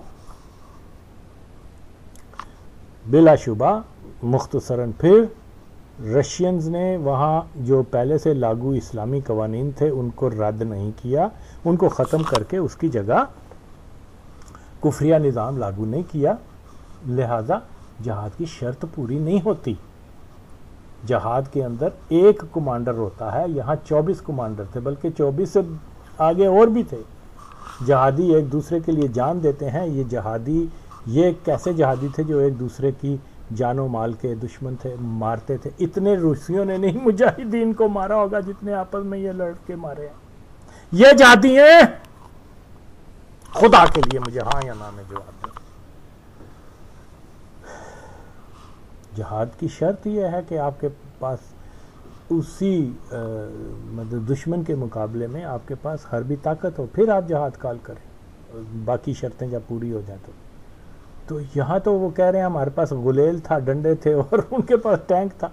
कोई कंपेयर ही नहीं है इनकी आपस में मिलिट्री का। तो ये बिल्कुल सब झूठ है, सारे फसाद है। मैं फिर ये कहता हूँ ये लोग अगर इतने ही इस्लाम के सच्चे थे तो ये और या मकबूल जान फ़लस्तीन में जाके इसने क्यों नहीं जहाद किया? पीपल्स पार्टी के लोग तो गए हैं, खुदा की कसम गए हैं, अल्लाह की कसम गए हैं, वहाँ जाने दिए हैं। ओके? जिनको ये लोग कहते थे, ये तो जी मार्क्सिस्ट हैं, ये तो जी कम्युनिस्ट हैं, ये तो जी लेफ्टिस्ट हैं, वो जाके अपनी नुखेज जवानियाँ जो है फ़लस्तीन की आज़ादी के लिए उन्होंने लुटा दी। और ये उसामा बिन लादन अरब होके हमसाए में यहूदियों का कब्ज़ा है उसके ऊपर मुसलमानों की तीसरी सबसे मुकद्दस सरजमीन के ऊपर। हाँ? और वो उसको छोड़ के तो ये इस्लामा वो क्या नाम है पिशावर में आके और वहाँ महाजर लड़कियों के साथ जो भी यू you नो know, तो क्या जहाद जहाद। हमने तो देखी हुई हैं चीज़ें ये क्या करते थे।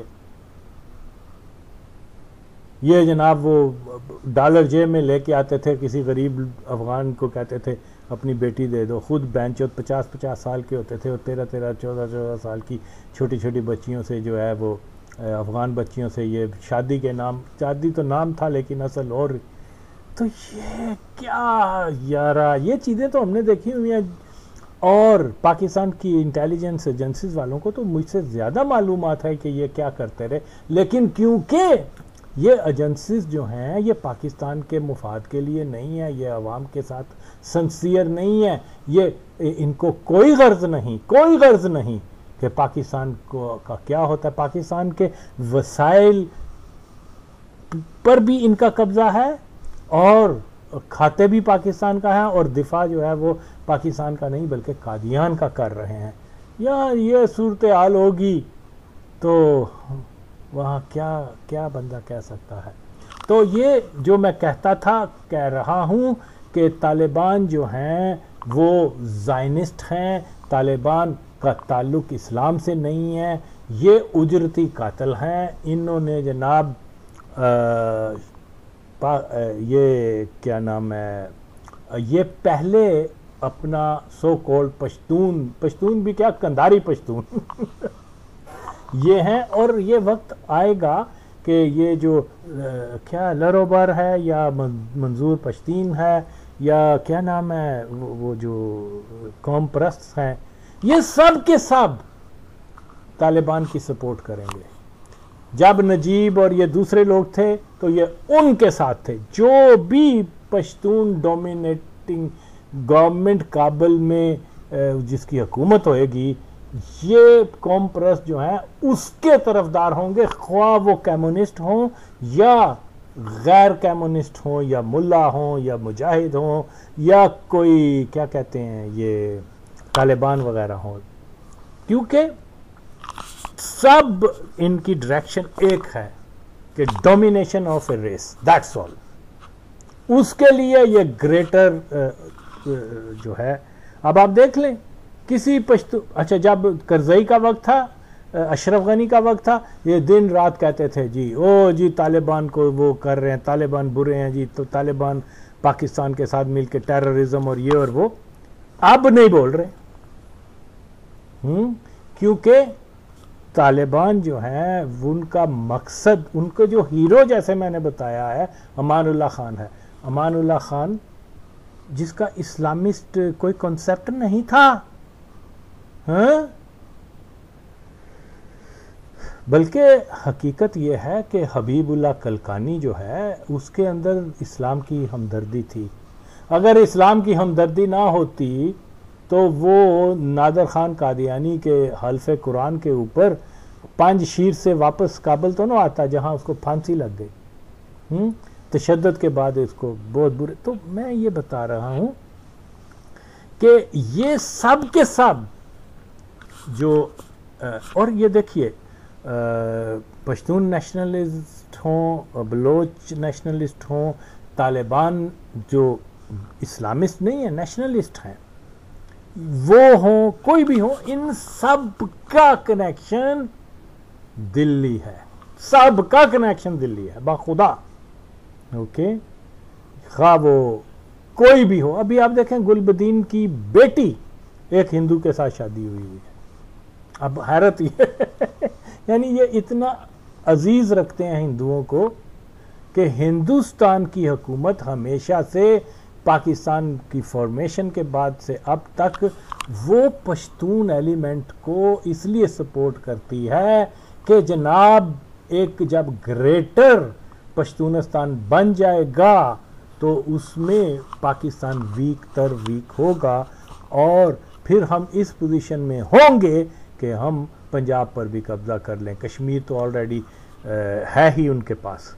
तो बाकी ये सारी चीज़ आई I मीन mean, जो जिस नुक्ते के ऊपर ये सारी फोर्सेस मुतफिक हैं वो एंटी पाकिस्तान है। और यहाँ हमें बता गलत बातें बताई जा रही हैं। जो तारीख के मुनाफी हैं जो ज़मीनी हक के मुनाफी हैं। तो मैं ये देखिए मुझे कैसे पता था कि तालिबान एंटी पाकिस्तान होंगे? क्योंकि मैं वहाँ रहा हूँ, इनकी नेचर को देखा है, इनकी थॉट्स को जानता हूँ, इनके अंदर क्या आग है, तासुब की, उसकी थोड़ी सी झलक देखी हुई है, इसीलिए मैं जानता हूँ। इसीलिए जानता हूँ। ये इस्लामिस्ट नहीं है, ये नस्ल नजात परस्त है, नजात परस्त है। आम मैंने सुना हुआ है, देखा हुआ है। आम पाकिस्तानी को कहेंगे दागा तोर पंजाबियान यार क्या है? और नाम क्या ले रहे हैं? अल्लाह अकबर। या शरीयत। मेरे नबी ने जो है ये बता दिया है कि कोई काला गोरा नहीं है, जब आप उम्मत का हिस्सा है। तो बाकी ये है कि ये बहुत सारी चीज़ें हैं। हमें खुदा के लिए चीज़ों को समझना होगा। ये पिशावर में जो जुल्म हुआ है, इसके बारे में मैं अपनी पुरानी वीडियोस देख लें। सारा मैंने बताया हुआ है कि ये जनाब, अब मसला ये है कि ये इस नोयत की पाकिस्तान में टेररिज्म करवाना चाह रहे हैं, कर रहे हैं कि पाकिस्तान मजबूर हो जाए कि अफ़गानिस्तान के ऊपर कोई हमला, भरपूर हमला करे। ये छेड़ रहे हैं पाकिस्तान को। और जब कोई भरपूर हमला होगा तो उसके बाद ये एक जवाब बनाएँगे हिंदुस्तान की फौज को अफ़गानिस्तान में लाने का। आप समझ गए हैं कि ये क्यों टेररिज्म हो रही है? ये एक इंटरनेशनल कॉन्स्प्रेसी है और इसके अंदर कुफार कुवतों के साथ जो है वो इनका अहद पैमान है। और इसी के ऊपर वो मुसलसल। यार ये लोग जो कल तक, ये साल पहले की बात है। ये कह रहे थे, जी, अब वो बॉर्डर महफूज हो गए, ये हो गए, वो ये और या वगैरह। यार एक साल के अंदर इतने लोग शहीद कर दिए। मासूम लोग, बेचारे छोटे मोटे पुलिस अफसर या पुल नॉट अफसर आम सिपाही, आम फौजी जनरल आम फौजी और आम सिविलियन हम्म, और और या मकबूल जान उसकी तावील क्या कर रहा है क्योंकि पाकिस्तान अमेरिकन ब्लॉक में इसका मतलब यह है कि मस्जिद में जाके बम मार दो माचो दो? हम्म? और मैं हैरान हूँ मैं हैरान हूँ कि हमारी कादियानी और है ही कादियानी रियासत, माचो ऐसे ऐसे आदमी को तो पकड़ के तो उसके ऊपर गद्दारी का मुकदमा चलाना चाहिए। बैंचो उन्होंने सौ नमाजियों को जो अल्लाह के के हजूर सजदा कर रहे थे, उनको शहीद कर दिया। और तू कह रहा है क्योंकि पाकिस्तान की अमेरिकन पॉलिसी है, इसकी वजह से तालिबान हमारे खिलाफ है और टेररिज्म हो रहा है? क्या ये जो नमाजी, नमाज़ पढ़ने गए थे, क्या ये अमेरिका के जसूस थे? क्या ये अमेरिका की पॉलिसी पे फॉलो कर रहे थे? तो ये बहुत सारी चीज़ आई डोंट नो फिर भी लोग इनको इनको दानश्वर या अफगान अफेयर का एक्सपर्ट वगैरह समझें या मुखबर रास समझें तो ये तो झूठे हैं कजाब हैं। ये सहूनी एजेंडे के ऊपर पूरी मुस्लिम उम्मा को जो है वो आ, वो गुमराह कर रहे हैं। और गुमराह करना वो कहाँ जो है इसमें, इस्लाम में इसकी गुंजाइश है? इस्लाम सिर्फ़ और सिर्फ़ सच्ची बात को जो है वो कबूल करता है और बाकी चीज़ें जो गैर हकीकी हैं, जो झूठ है, उसको शैतानियत के साथ जो है वो इस्लाम रिलेट करता है। तो ये बे, बेशुमार चीज़ें हैं। ये एक बेहतरीन जो हमत यही है कि आप जो ज़मीनी हकाइक हैं, उनकी बुनियाद के ऊपर अपनी एक सोच बनाएँ, अपना एक नज़रिया बनाएँ और ये जो लोग आके झूठी बातें बता देते हैं कि फ़लाने नेमतुल्ला वली ने ये कह दिया था, वो कर दिया था। नेमतुल्ला वली ने ये नहीं बताया कि उन्नीस हिंदुस्तान के अंदर एक शख्स उठेगा जो नबूवत का दावा करेगा हाँ? उसने नेमतुल्ला वली ने तो बता दिया कि जनाब अयूब खान की भी हुकूमत आएगी, ज़िया की हुकूमत भी आएगी और बेनज़ीर की भी हुकूमत आएगी। और ये नहीं बताया कि हिंदुस्तान की हिस्ट्री का सबसे जहाँ मुसलमानों की तादाद दुनिया में सबसे ज़्यादा है हम्म, कि वहाँ एक फितना उठेगा मिर्ज़ा कादियानी के नाम पर। तो ये सोचे ना मिर्ज़ा कादियानी की नबूवत का दावा एक बड़ा वाक़ है या कि ज़ियाउल हक कादियानी की हुकूमत का आना ज़्यादा बड़ा वाक़ है। वो कह रहा है कि जी उसने तो 71 की जंग का भी बता दिया था। अच्छा? 65 की जंग का उन्होंने बता दिया। और सल्तनत उस्मानिया पे जवाल आएगा, ये बड़ा वाक़ नेमतुल्ला ने नहीं बताया। हाँ? कि स्पेन से 800 साल की हुकूमत मुसलमानों की ख़त्म हो जाएगी, ये नहीं बताया। हम्म दो हज़ार साल के बाद फ़लस्तीन के अंदर इसराइली रियासत बन जाएगी। ये बड़े इवेंट हैं या के सिक्सटी फाइव की जंग। तो ये सारी बातें जो हैं गुमराह करने के लिए कादियानी एजेंट आके लोगों में फैलाते हैं, क्योंकि आज फिर हम तालिबान की तरफ़ देखते हैं।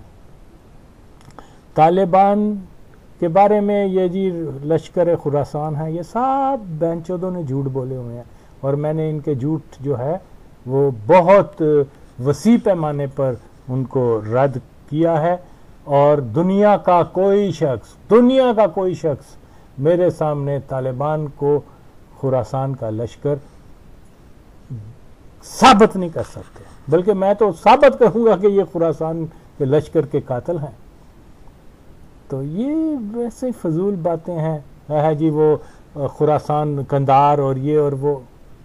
जिन लोगों को कलमा सही पढ़ना नहीं आता, तुम माँ चौदह उनको जो है वो बता रहे हो। जिनकी हिस्ट्री ये है कि जनाब वो हिंदुस्तान के साथ को भाई मानते हैं और कलमा गो मुसलमान को जो है वो नफ़रत करते हैं। तो ये अगर खूबियाँ इमाम मेहंदी की लश्कर की हैं तो ठीक है। यानी इमाम मेहंदी के वो लश्कर है जो हिंदू मुशरक के साथ दोस्ती कर रहे हैं? फिर ठीक है, तुम फिर सच्चे हो फिर। मैं झूठा, फिर तुम सच्चे। तो बहरहाल देखिए, मैं जानता हूँ अफ़गानिस्तान की चीज़ों को, उसका मैं मुशाह भी किया है, थोड़ा बहुत स्टडी भी है। तो बिल्कुल खुदा की कसम ये देखिए मुझसे पहले आज तक किसी ने इस सच के ऊपर कोई ना वीडियो बनाई, ना कोई आर्टिकल लिखा कि जो खोस पख्तिया का इलाका है, ये एक मज़बूत गढ़ है। कादियानियों का।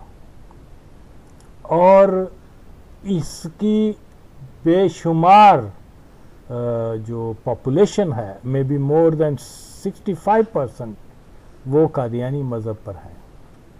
और ये, उसकी वजह भी मैं पहले बयान कर चुका हुआ हूँ कि ये जो है, क्या नाम है इसका साहबजादा अब्दुल लतीफ़ और ये जिसको ये कादियानी अपना पहला शहीद कहते हैं अब आप अंदाज़ा लगाएँ कि मैं और भी मैं जानता हूँ कि जो तालिबान के रैंक्स में और भी लोग थे जो आ, मतलब जिनका ताल्लुक पख्तिया खोस्त जरदान कबीला ये वो मंगल कबीला ये उनसे बहुत ज़्यादा आज भी मौजूद हैं इस एरिया के और इन कबाइल के जिनकी अक्सरियत कादियानियों की है। तालिबान का फॉरेन मिनिस्टर वज़ीर खारजा अमीर खान मुत्तकी खोस्त पख्तिया का, जो हब है, जिसको अफ़गानिस्तान का रबुआ कहते हैं, समझे हो?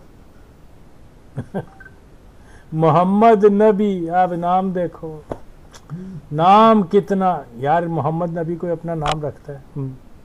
मोहम्मद नबी उमरी साहब। कहाँ के? खोस पख्तिया अब्दुल लतीफ मंसूर। कहाँ का? खोस पख्तिया का। और सुहेल शैन इसका नाम है? हाँ। दागम खोस्त वाला दे। ये भी खोस्त वाला है। हकानी अंश, हकानी नाम है क्या है? ड्रामेबाजियाँ देखो। इसके सर पे पता नहीं कितने मिलियन का इनाम रखा हुआ था। अब ये सारी दुनिया में आज़ाद घूमता है। नॉर्वे पिछले दिनों गया हुआ था। खैर, ये साहब भी खोस पख्तिया मौलवी फरीदुद्दीन जबी उल्ला मुजाहिद और बहुत सारे लोग जो हैं, उस मंतका से आए हैं। तालिबान के हाई रैंकिंग, कोई वज़ीर है, कोई मशीर है, कोई पता नहीं क्या, यानी जो टॉप के उनमें से बेशुमार का ताल्लुक जो है वो खोस पख्तिया से है। और खोस पख्तिया क्या है? अफ़गानिस्तान का रबुआ। और ये इनके सारे बुज़ुर्ग जो थे ना, उस इलाके में, समझा करो समझा करो, वो उसके थे, क्या नाम है, खोस पख्तिया में बड़ा पॉपुलर फिगर था अब्दुल, क्या, साहबजादा अब्दुल लतीफ। हम्म। तो ये तो हाल है, लेकिन कोई जवाब तो दे मेरी बातों का। और खौस पख्तिया जैसे मैं हमेशा बता चुका हूँ कि ये आबादी यहाँ ज़्यादा अक्सरियत का कादियानियों की है। और उसके ऊपर मैंने बड़े डिटेल के साथ चंद एक आर्टिकल्स भी लिखे हुए हैं जो मैंने मतलब पहली बार in the history of Afghanistan ये बात डिस्क्लोज की है कि खोस्त, पख्तिया, ये सारे इलाके, ये मज़बूत तरीन हब हैं कादियानियों के। यहीं से, इसी एरिया से खलकी परचमी बहुत ज़्यादा फ़ौज में दाखिल हुए और फिर दाऊद ख़ान के ख़िलाफ़ रेवोल्यूशन लेके आए। दाऊद ख़ान पाकिस्तान के साथ टाइज बना, अच्छी दोस्ताना कर रहा था। उसको उड़ा के रख दिया। तो ये एक कादियानी जमात का मुफाद है कि पाकिस्तान और अफ़गानिस्तान के ताल्लुक अच्छे ना रहें। अगर दाऊद खान है, जब तक वो पाकिस्तान के ख़िलाफ़ था, उसके ख़िलाफ़ कोई मूवमेंट नहीं बनी या उसको मारने की कोशिश नहीं की गई। जिस वक्त वो पाकिस्तान से अपनी अच्छे मरासम कर रहा, उसको उठा के मार दिया। तो इसी तरीके से ये हकाइक हैं। अब तालिबान डॉक्टर नजीब को हीरो बना के कोशिश कर रहे हैं। क्यों? कि मुमकिन तौर पर था तो वो भी उसी इलाके का, बल्कि जिस गाँव से इसका ताल्लुक था, वहाँ की पचानवे फ़ीसद आबादी का कादियानी है ओके? बल्कि सौ फ़ीसद होगी, लेकिन चले हम कहते हैं। तो इसका वालद भी हुकूमत में अच्छे अहदे पे था। ये नादर शाही ख़ानदान वालों ने नादर शाह के ख़ानदान ने उन उसको अच्छा अहदा भी दिया हुआ था। तो ये भी मुमकिन है कि वो बाय बर्थ कादियानी था और कम्युनिस्ट के रूप में आया हुआ। खैर बात कहने की ये है कि ये अजीब लोग हैं। पहले का, का, उसको यूनाइटेड नेशन से निकाल के उसके आला तनासल को काट के उसके पता नहीं क्या हरकतों सकनात करके उसको इबरत का निशान बना के लटका दिया और अब वो कह रहे हैं हम उसका मिज़ार भी बनाएँगे। पहले ये कहते थे वो तस्वीर उतारना हराम है अब वो फ़ख्र से तस्वीरें उतारते हैं। आई डोंट नो या तो फिर कहें कि मोला उमर की पॉलिसी गलत थी। तो ये आ, बाकी नो डाउट कि अगर हम मज़ीद तहकीक में जाएँ तो आज जो वज़ीर, मशीर ये बहुत सारे हैं, उनका ताल्लुक अफ़गानिस्तान के उस इलाके से है जहाँ अक्सरियत आबादी कादियानियों की है। तो क्या बीसों वज़ीर, मशीर जो खोस्त के हैं, क्या उसमें कादियानी कोई नहीं होगा? बल्कि शायद सब के सब कादियानी हो। ओके? ये लबादा ओढ़ के, जैसे जियाउल हक ने अमीरुल मोमिनीन का लबादा ओढ़ के पूरे 11 साल तक पाकिस्तान में हुकूमत की। तो ये इस तरह की बहुत सारी चीज़ें हैं। अब आप देखिए, खलकी परचमी, वो कौन थे? कम्युनिस्ट थे ना, जिनके खिलाफ जाद जाद जाद किया था। तो उसमें आज वो तालिबान के साथ मिले हुए हैं। जो कहा करते थे टोलो ना जहान के हेज शाह वजूद ना लारी सिर्फ़ यो यो शाह वजूद लारी दागा मादा दे। जो ये कहा करते थे कि मादे के अलावा दुनिया में कोई हकीकत नहीं है। हम्म, आज हाथ में तस्वीर पकड़ के दाढ़ी बनाकर और दाढ़ी लगाकर और सर पे पगड़ी बाँध के वो तालिबान के साथ हैं। और कई लोगों को मैं ज़ाती तौर पे जानता हूँ। ये, क्या नाम है इसका, अब्बास सतनक सतनक से ही ये वहाँ इसके खाद का एक करिंदा हुआ करता था। खलकी था। हिंदुस्तान में जाके उसने कोई ट्रेनिंग वगैरह भी ली थी। और मुझे याद है कि एक महफिल में इससे मुलाकात, एक शादी में जिस उर्दू में बात हुई थी हमारे साथ, अच्छी उर्दू बोल लेता था, अंग्रेज़ी भी जानता था। तो ये कट्टर कम्युनिस्ट था, ड्रिंक करता था, वुमनाइजर था। उस जमाने की मैं बात कर रहा हूँ, उस वक्त तो बिल्कुल जवान था। तो मैं आज ये जनाब वो बना हुआ है, क्या कहते हैं, इस्लाम का सच्चा सिपाही। तो ये तो हिंदुस्तानी एजेंसियों के लिए काम करते थे, अभी भी कर रहे हैं। तो इन्होंने जनाब, उन लोगों, या आज के तालिबान के रैंक्स में वो लोग मौजूद हैं, जो कि यकीनन और यकीनन मतलब कम्युनिस्ट और फिर बेशुमार जुल्म करने वाले उजरती कातल जो खुदा को गालियाँ दिया करते थे। आज ये अपना रूप, रंग और ये सब एंटी पाकिस्तान है। ये पाकिस्तान की जो कादियानी एजेंसियाँ हैं, उनका टोटल फेलियर है। फेलियर इसलिए है कि उनका मुफाद ये नहीं कि हम पाकिस्तान की सर्विस करें। हमारी सारी एजेंसीज वगैरह जो हैं, वो कादियानियों का मुफाद देखते हैं। तो यहाँ ये आलम है और कहा जा रहा है कि जी तालिबान ये है, तालिबान वो हैं। तो मुझे तो I mean there are so many other names कि जिनको मैं मैं जानता हूँ कि ये वो कादिया, ये ये वो हैं, क्या नाम है ये कम्युनिस्ट है, आज वो बने हुए हैं। कल को क्या बने? वी डोंट नो यही लोग जो हैं ये अशरफ गनी के भी साथ थे डॉक्टर नजीब के भी साथ थे, आज तालिबान के भी साथ हैं। इनको तो गिरफ़्तार करके वो अफ़गान अवाम के कत्ल में सजाएँ होनी चाहिए। लेकिन आज ये हुक्मरान बैठे, बन के बैठे हुए क्या ये शरीयत इस्लाम है? हरगिज नहीं। तो दूसरी बात अब आप देखिए ये कौन था? ये खलील ज़ादा खलील ज़ादा जो है जलम खलील सॉरी। ये आ, सिर्फ़ ये क्या कहते हैं उसको?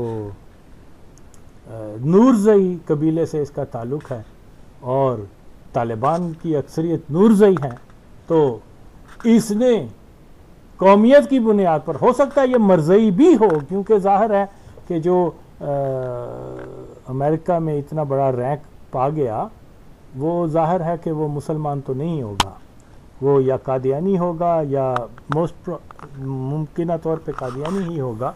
खलील खलील जलम खलील। तो ये जनाब लेके आया है ये ब्रिज बना है अमेरिकन गवर्नमेंट और तालिबान को पावर देने में कि तालिबान, उसके हम कौम हैं।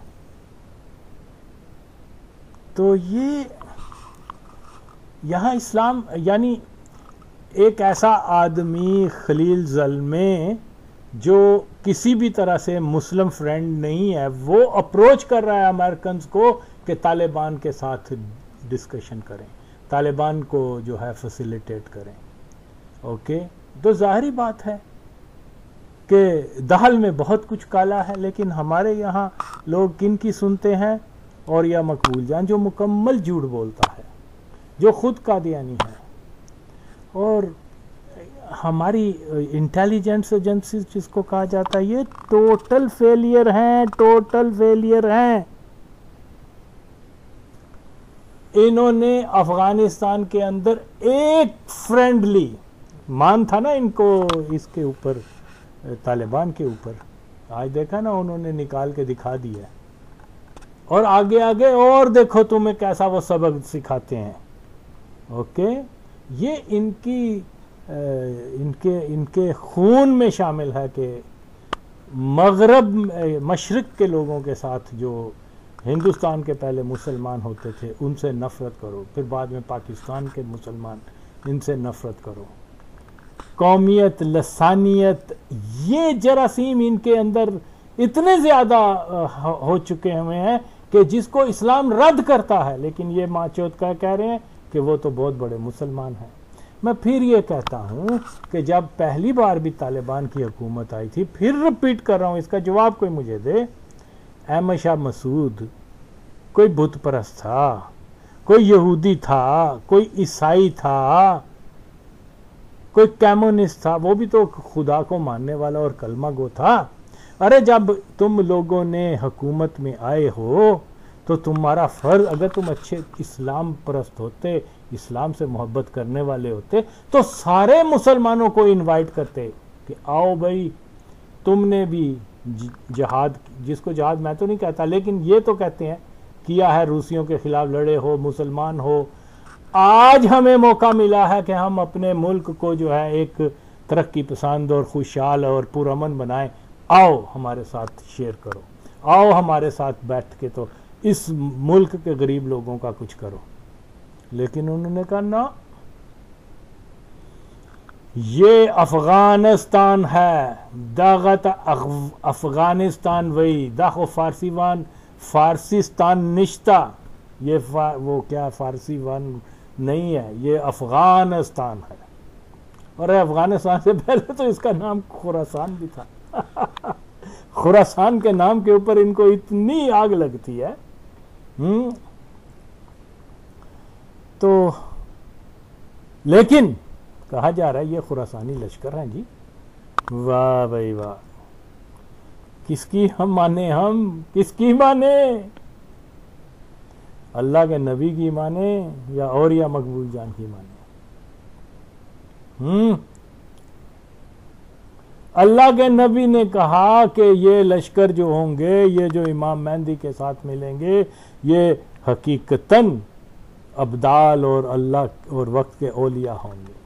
और ये देखो, लोंडेबाजों को जो है, हिरवन कश को चर्च पीने वालों को इमाम मेहदी का लश्कर बना रहे हैं। खुरासान का लश्कर बना रहे हैं, गजवा हिंद का लश्कर। और पहनचो तो तुम्हें शर्म नहीं आती? तो अगर मुसलमान मान रहे हैं औरिया की बात को तो माजल्ला वो नबी की बात को जुटला रहे हैं। तो मैं तो यही कहूँगा कि नहीं भाई, ये नहीं, ऐसा नहीं है, ऐसा नहीं है। और ये तमाम के तमाम तालिबान के रैंक्स में आज नब्बे फ़ीसद कट्टर एंटी पाकिस्तान है। कट्टर। और हमें बताया जा रहा है, जी, वो तो सरहदें महफूज हो गई, अब पाकिस्तान का मैं बारहा कह चुका हूँ, जब तक इन लोगों की हुकूमत है, पाकिस्तान कभी भी ये पाकिस्तान को राहदारी नहीं देंगे, चाहे इनका अपना क्यों ना नुकसान हो जाए। तो आज भी वक्त है कि हमें बजाय इसके कि अफ़गानिस्तान से राहदारी ले, ईरान का रास्ता खुला है। कोई, लेकिन क्योंकि हमारी इस्टेब्लिशमेंट जो है, वो पाकिस्तान के मुफाद की बात नहीं करती, वो कादियान के मुफाद की बात करती है।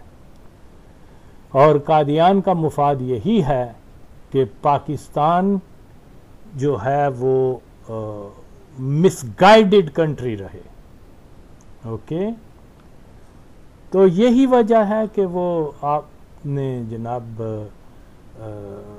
ईरान के साथ जो पाइपलाइन बन रही थी, वो भी कैंसिल कर दी। और उम्मीदें लगा दी, जी हम ताजिकिस्तान से और उज्बेकिस्तान से ये कर लेंगे, वो कर लेंगे। जब तक अफ़गानिस्तान बीच में है, भूल जाओ भूल जाओ। चाहे अफ़गानिस्तान का बहुत ज़्यादा भी फ़ायदा हो रहा हो नब्बे फ़ीसद फ़ायदा अफगानों का भी हो और दस फ़ीसद पाकिस्तान के लिए फ़ायदा आएगा। वो कहेंगे, हमें अपना दस दस फ़ीसद से हम तेर हैं। हम नहीं, दस, बीस फ़ीसद, नब्बे फ़ीसद से भी हम हाथ देते हैं। पाकिस्तान को पाँच फ़ीसद फ़ायदा नहीं होना चाहिए। जहाँ हालत ये है और ये कौम को मुसलसल गुमराह कर रहे हैं। फिर मैं कहता हूँ और या तेरी भैन कंजरी दे पुत्र ओ हराम जादे आ, मेरे पास साथ बात कर, मैं तेरी, मैं मानू, मैं तेन ओथे लैके जाके मारांगा कि, लेकिन तू तो बेगैरत आदमी है, पता नहीं की कुछ तेरे नाल होया है तो तेरे शर्म ही नहीं है तो ये हकाइक हैं। मैं कहता था कि जनाब, बरसों से कह रहा हूँ, जिस दिन तालिबान हुकूमत में आएँगे फ्रॉम दैट डे उनका स्टांस एंटी पाकिस्तान होगा। और ये कह रहे थे कि वो जी पाकिस्तान के बच्चे हैं, वो तो जी पाकिस्तान के लिए जहाद कर रहे हैं, वो जी पाकिस्तान के लिए ये, वो। वो पाकिस्तानियों को कुत्ता नहीं समझते और यहाँ माँ चौध हमारी तो हमें क्या ज़रूरत है कि जी वहाँ मुश्तरक हुकूमत हो, ये हो, वो मानेंगे आपकी? सवाल ही पैदा नहीं होता। कभी भी नहीं। तो उनको उसके हाल पे छोड़ दो। हिंदुस्तान वहाँ आएगा, अभी भी मौजूद है। अभी भी, ये ना समझो कि अभी मौजूद नहीं है। लेकिन एक वक्त वो भी आने वाला है कि खुल कर आएगा, तालिबान हो या कोई भी हो, वो इनवाइट करेंगे। आओ जी, हमें पाकिस्तानी दाल खोरों से तो हमारे दिफा के लिए आ जाओ। ओके? मुतासब कौम है, मुतासब कौम है। तुम माचो तो इनको, मुतासब कौम तो मुसलमान हो ही नहीं सकती। क्योंकि मुसलमान वो है जो कि उम्मत के नज़रिए को जो है वो वो वो वो प्रमोट करता है। और यहाँ यहाँ इनका हाल फिर या राह पे जाने या वहाँ पे जाने और मुझे एक बार काबल में हमें कुछ लोगों ने घेर लिया और वो हमारे ऊपर, मैंने पहले भी वाक्य बताया हुआ तो राहगीर गुजर रहे, अफगान हमें मार रहे थे, वो ज़्यादा थे। राहगीर गुजर रहे थे। उन्होंने कहा कि, ओ, ये हमारे हिंदी भाई हैं। इनको ना मारो, छोड़ दो, जाने दो, मुसाफिर हैं।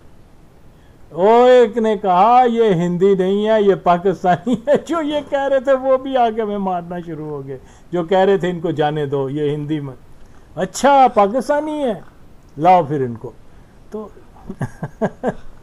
ये उस वक्त की बात है, जब 50 मिलियन नो 50 लाख अफगान पाकिस्तान के अंदर रह रहे थे।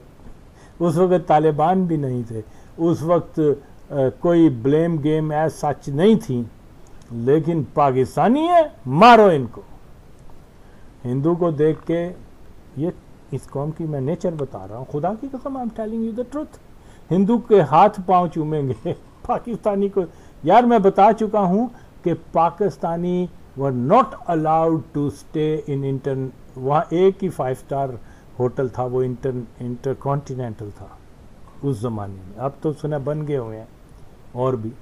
तो पाकिस्तानियों के लिए शहर के third class fourth class hotel के लिए तो वो वहाँ ठहर सकते थे किसी अब ये क्या आ, ये इसको पैट्रियोटिकिज्म कहेंगे। मुझे समझ नहीं लगती तो आई डोंट नो कि क्या चीज़ ये ये ये ये ये हुब वतनी नहीं है कि लोगों को गलत बातें बताई जाएँ। ये तो बताते हैं कि जी वो तो हमारे सर के ताज हैं, वो तो जी हमें मुसलमान हैं, हमारे लिए जहाद कर रहे हैं। ये तो पाकिस्तान के साथ गद्दारी करते हैं। इनको पकड़ के तो मुकदमे चलाओ कि इन माचोदों ने इतनी ज़्यादा गुमराही पैदा की है कि कौम कंफ्यूज हो गई है। आज वो आगा वसीम का सच सुनते हैं तो सोच में पड़ जाते हैं कि क्या करें। जवाब तो दे नहीं सकते। तो ये बहुत सारी चीज़ें हैं। अब होगा क्या? होना यही है कि जैसे मैं हमेशा से कहता चला आया हूँ कि ये जनाब हब बना दिया है इन्होंने। यहाँ तमाम एंटी पाकिस्तानी फोर्सेस जो हैं, वो यहाँ आके जमा होंगी।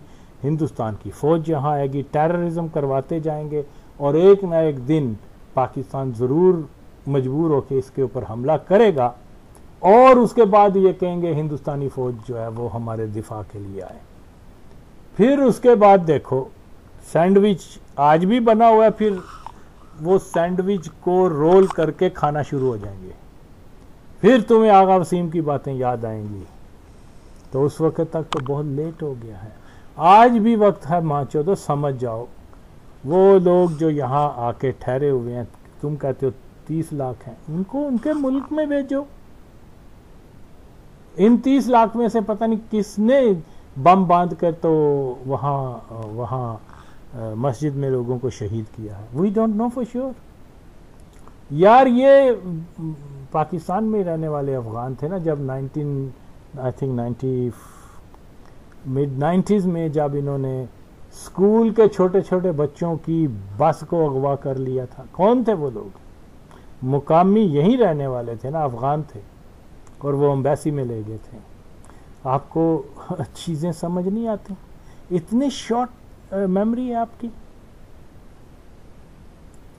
तो ये कभी भी कभी भी कोई भी वहाँ की फोर्स हमारे साथ नहीं होगी और ये पाकिस्तान के लिए मज़ीद मुश्किल पैदा करेंगे। इसका सिर्फ़ और सिर्फ़ अगर आपने दिफा करना है मुल्क का तो वही है जिस तरीके से आगा वसीम कहता है, पहले तो इनके मामला में बिल्कुल दखल ना दो, छोड़ दो इनसे।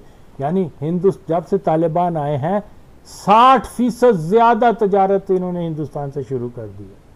और बच्चे वो हमारे हैं। मुसीबत के वक्त पाकिस्तान ने उनको पना दी। पाकिस्तान ने उड़ता तीर पीछे लिया कि जी तालिबान तो हमारे बच्चे हैं। हालाँकि नहीं थे, ना है, ना होंगे। झूठ बोला गया ना, वो भी एक माचोत कादियानी जनरल था। बाबर। तो ये सारी चीज़ें आपके सामने हैं। गरीब लोगों का, चलो कोई तालिबान उठ के शबाज शरीफ को मारे, कोई इमरान खान को मारे, कोई जर्नैल को मारे पहन चलो। किसी जज को मारे, चलो हम भी कहें, चलो कादियानियों का मामला जो है वो।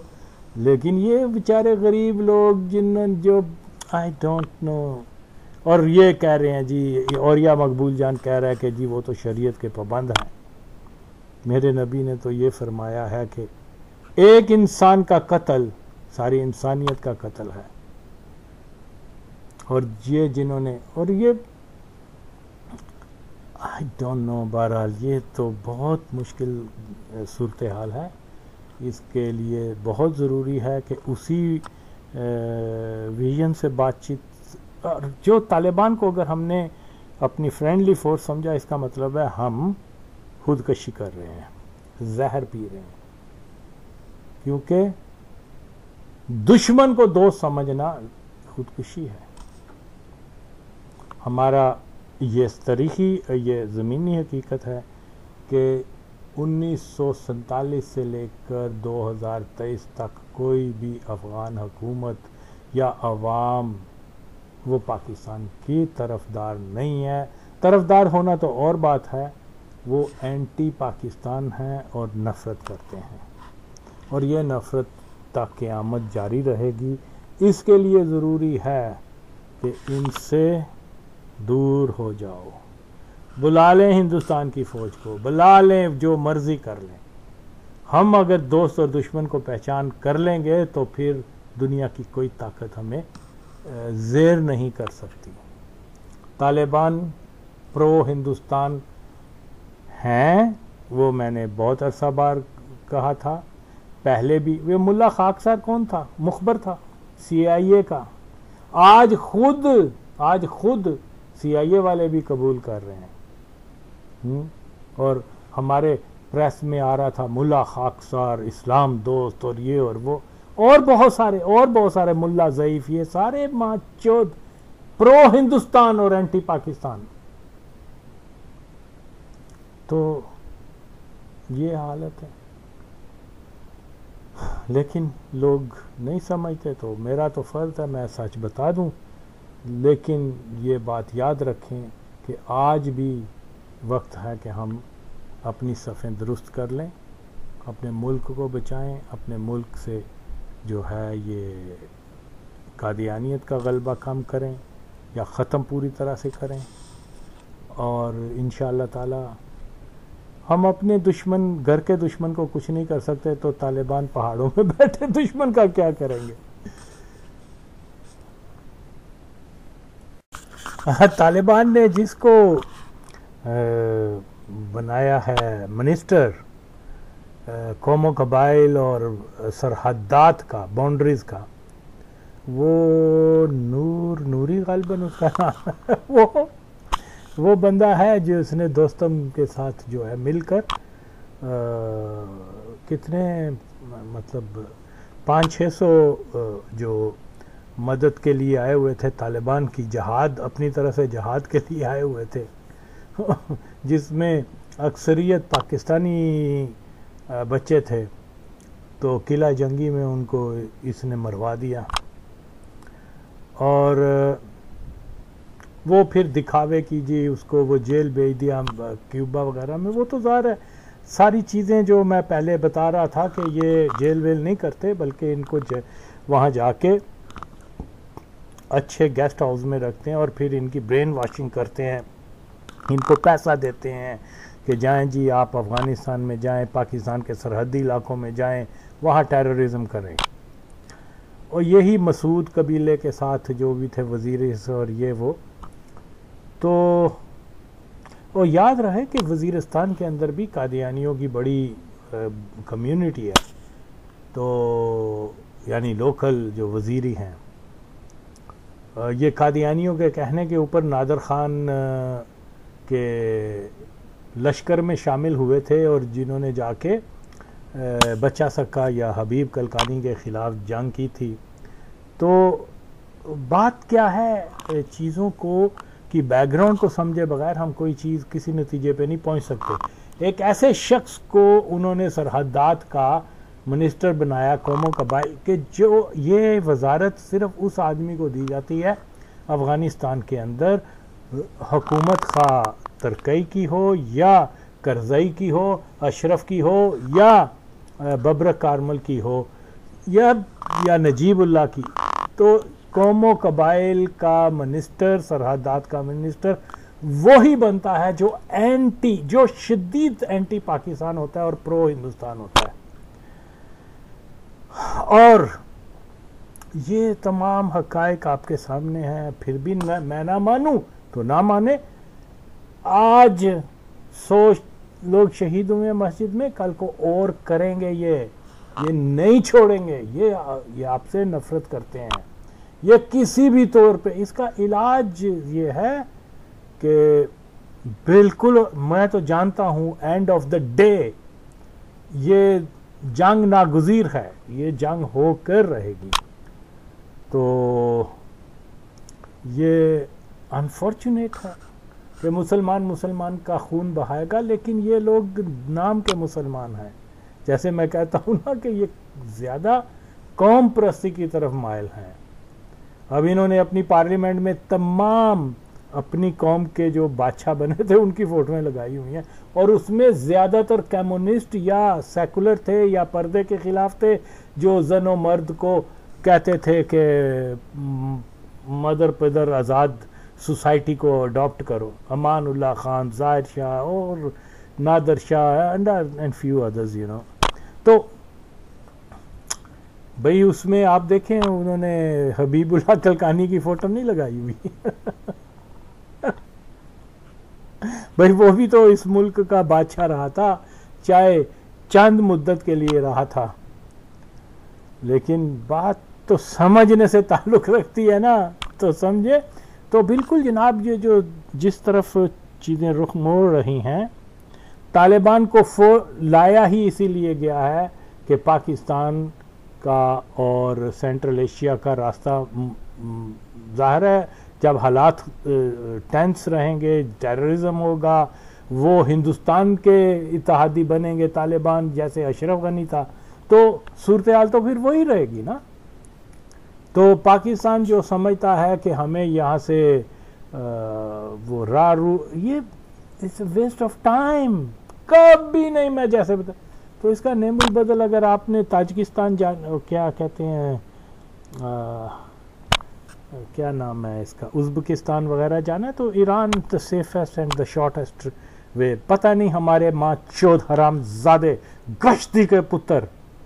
यानी एक ऐसी सरजमीन से अपनी सप्लाई बनाना चाहते हैं, जो अनसर्टन है, जो पाकिस्तान के ख़िलाफ़ नफ़रत रखते हैं, जहाँ का कूची से लेकर एक दानश्वर तबका जो है वो पाकिस्तानियों से शदीद हेट करता है। और उन्हीं में से हमेशा ये पाकिस्तान ये ये ये ये इकतदार में आते हैं काबल में। अवाम कौन? अवाम से ही निकलते हैं ना ये लोग। लेकिन हमारे कादियानी इस्टेब्लिशमेंट को इससे गर्ज नहीं है। गुलाम कौम हम्म। तीन सौ साल से दो सौ साल अंग्रेज़ों की गुलामी में गुजार गए, अब बाकी बचा सत्तर अस्सी साल वो जनाब कादियानियों की गुलामी में। तो जब कौम ही गुलाम हो जाए तो वो कैसे जो है उसके अंदर जज्बा जहाद या ये आप अपने घर ठीक नहीं कर सकते। फौज है, उसको सलाम करते हो, सारे वो बेंचोत कादियानी है। तो मैं बहरहाल बता रहा हूँ कि ये रास्ता छोड़ दो, भूल जाओ। आज भी वक्त है। इन, इसका इलाज ये है कि सारा, सबको वापस भेजो। और उनके मामला में हर किस कभी आप सोचें भी ना, सोचें भी ना कि वो आपको राहदारी देंगे। तो ख़त्म करेंगे सिलसिला। और अगर हिंदुस्तान ऑलरेडी वहाँ कौन सी प्रो पाकिस्तान हुकूमत रही है? हर दौर में वहाँ हिंदुस्तान के जसूसी के अड्डे, हर दौर में वहाँ पर हिंदुस्तान के जो एक्सपर्ट आके और उनको तरबियत देते हैं, जसूसी करते हैं, अपना नेटवर्क वसी करते हैं, हर दौर में। माँ चौधो तुम्हें इससे तुम कैसे कह सकते हो कि बॉर्डर महफूज हो रहे हैं। हिंदुस्तान हिंदुस्तान, अफगान हिंदुस्तान को इसलिए मोहब्बत करते हैं कि वो पाकिस्तान के का दुश्मन मुल्क कंसीडर किया जाता है ना। हालाँकि मैं ये सच बताता हूँ कि हिंदुस्तान वाले कम एंटी पाकिस्तान हैं और अफ़गानिस्तान वाले बहुत ज़्यादा हैं। लेकिन यहाँ सबको यही बताया गया जी हिंदुस्तानी हमारा दुश्मन है। तो जिस तरफ़ से आज तक आज तक पाकिस्तानियों की हलाकतें हुई हैं, वो जंगों में, हिंदुस्तान और पाकिस्तान की जंगों के दरमियान हलाकतें कम हुई हैं। ये कम्युनिस्टों के वक्त से वहाँ बम्बिंग सिविलियन मारे जाते थे। आम गरीब लोग।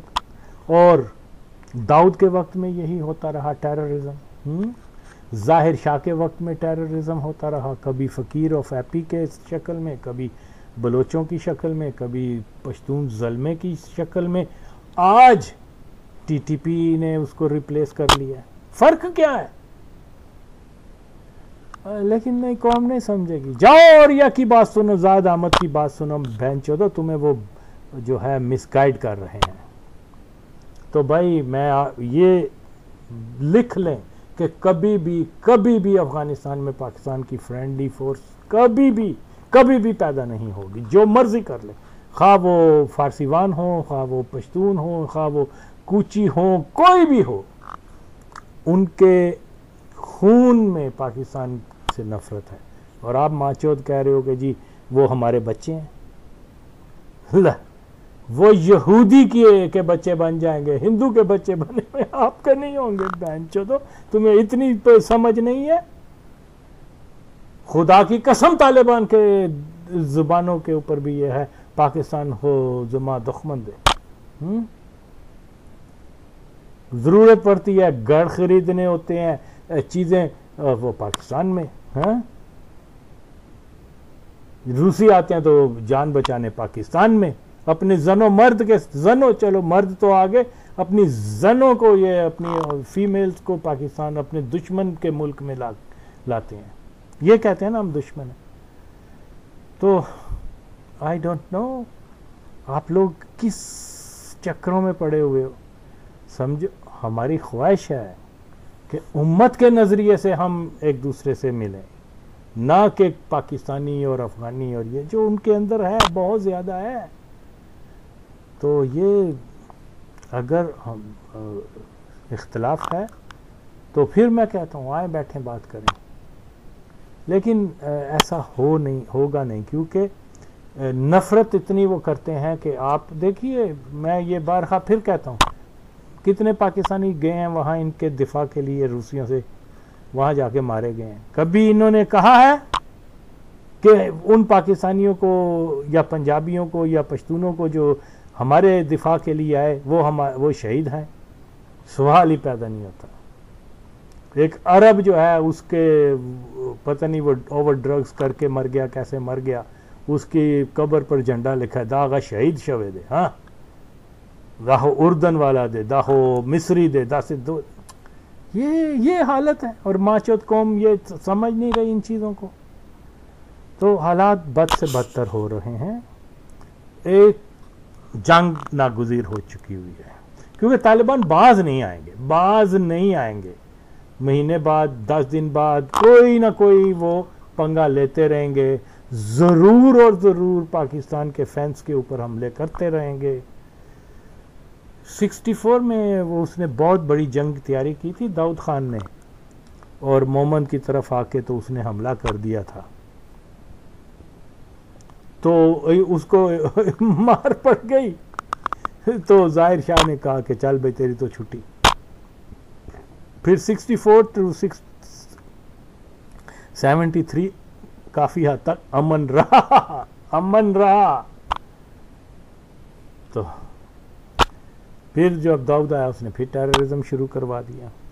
और हिंदुस्तान के साथ मिलके पाकिस्तान, दाहो टेररिस्ट हवाद दे। ये पाकिस्तान जो है वो दहशत गर्द मुल्क है। चलो ये सारी तारीख ये बताती है। अब दहशत गर्दी की क्या बात है? भाई वो, वो हम वहाँ थे तो हमें कहा करते थे?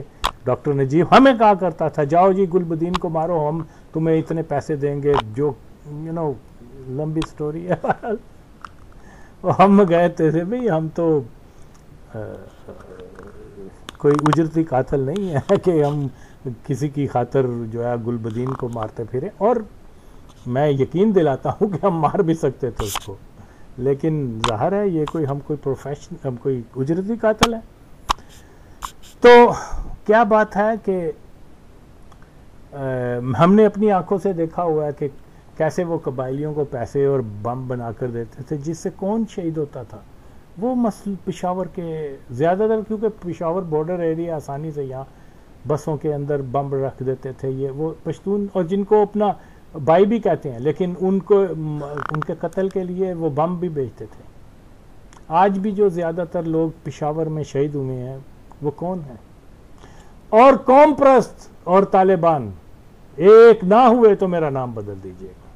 अभी भी हैं अंदर खानी, क्योंकि बात यह है कि उन्होंने तो अपने ऊपर वो वो लगाया हुआ है ना, नकाब इस्लामिस्ट होने का। लेकिन वो इस्लामिस्ट नहीं है। कौम प्रस्त है। इसी तरह से यहाँ की जो कौम प्रस्त फोर्सेस हैं, उन्होंने अपने ऊपर जो नकाब लगाया हुआ है, वो एक सेकुलर का।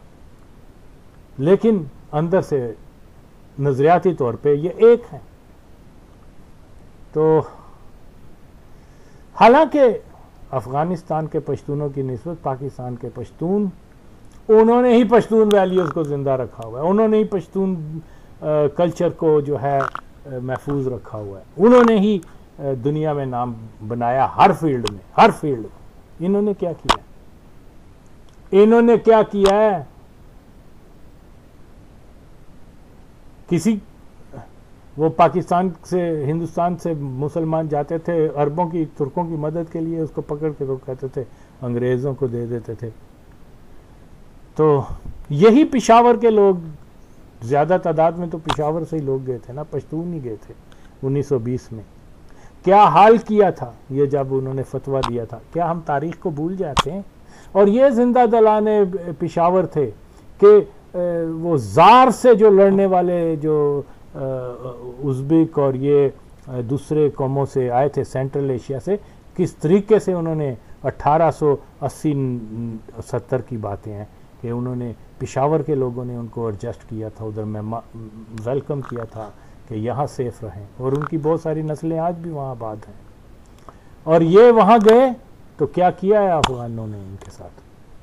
तारीख तो बताते नहीं है। हती कि वो क्या नाम है? वली खान का बाप, गफार खान, वो जैसा आदमी देख के फेडअप हो गया और काबल से भाग आया, कि ये इतना बुरा सलूक कर रहे हैं। तो बहरहाल, हकायक कुछ और हैं, बताया कुछ और जाता है। ये बहुत बड़ा अलमिया है। ये दिन ब दिन, ये जितना वक्त गुजरेगा, तालिबान जितने स्ट्रॉन्ग होंगे, पाकिस्तान में उतनी ही ज़्यादा टेररिज्म होएगी। और बिल्कुल इस वक्त भी, इस वक्त भी कंफर्म कम अज कम एक हज़ार एडवाइज़र हैं हिंदुस्तान के वहाँ आए हुए मिलिट्री के इंटेलिजेंट्स के, और क्या नाम है, फौज के लिए, और उनकी सब पुष्ट पनाही जो है वो कर रहे हैं तालिबान की। तो हम ये उम्मीद लगाएँ कि ये ये ये हम्म ये वो जाके गजवा हिंद करेंगे। जो गुलबदीन अपनी बेटी हिंदू को दे रहा है, वो हिंदुस्तान के साथ जाके क्या जहाद करेगा? शेम तो समझे समझे बातों को। बहुत ज़रूरी बातें हैं ये। पुरस्कार करने में तालिबान हकानी जमात, इस्लामी Deobandi, Tablighi Jamaat, Mossad, C I A, भारतीय अफगान खुफिया एजेंसियाँ जाल बिछाए बैठी हैं और हमारे करप्ट हुक्मरान और अस्करी इदारे आज भी इस खुशफहमी में मुबतला है कि तालिबान पाकिस्तानी मुफादात के रखवाले हैं और भारत को अफ़गानिस्तान में जमने नहीं देंगे। नविश्ता दीवार है कि अगर तालिबान दोबारा से अफ़गानिस्तान में इकतदार में आ गए तो इसका सबसे ज़्यादा फ़ायदा पाकिस्तान के उन जहादी ग्रोहों को होगा जो आज तक पाकिस्तानी रियासत को मुशरकिन की रियासत जिसमें इस्लामी निज़ाम नहीं है करार देकर कौमी सलामती इदारों को तबाह और लाखों शहरीों की हलाकत का सबब बन चुके हैं।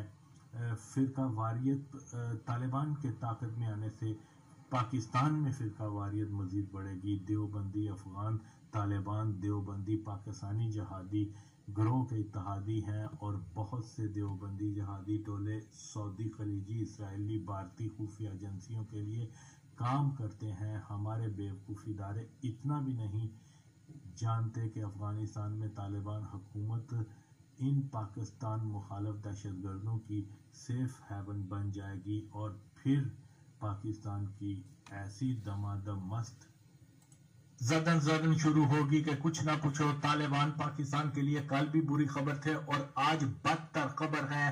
पाकिस्तान जैसी इस्लामी रियासत जिसके पास एटमी असला, बड़ी फौज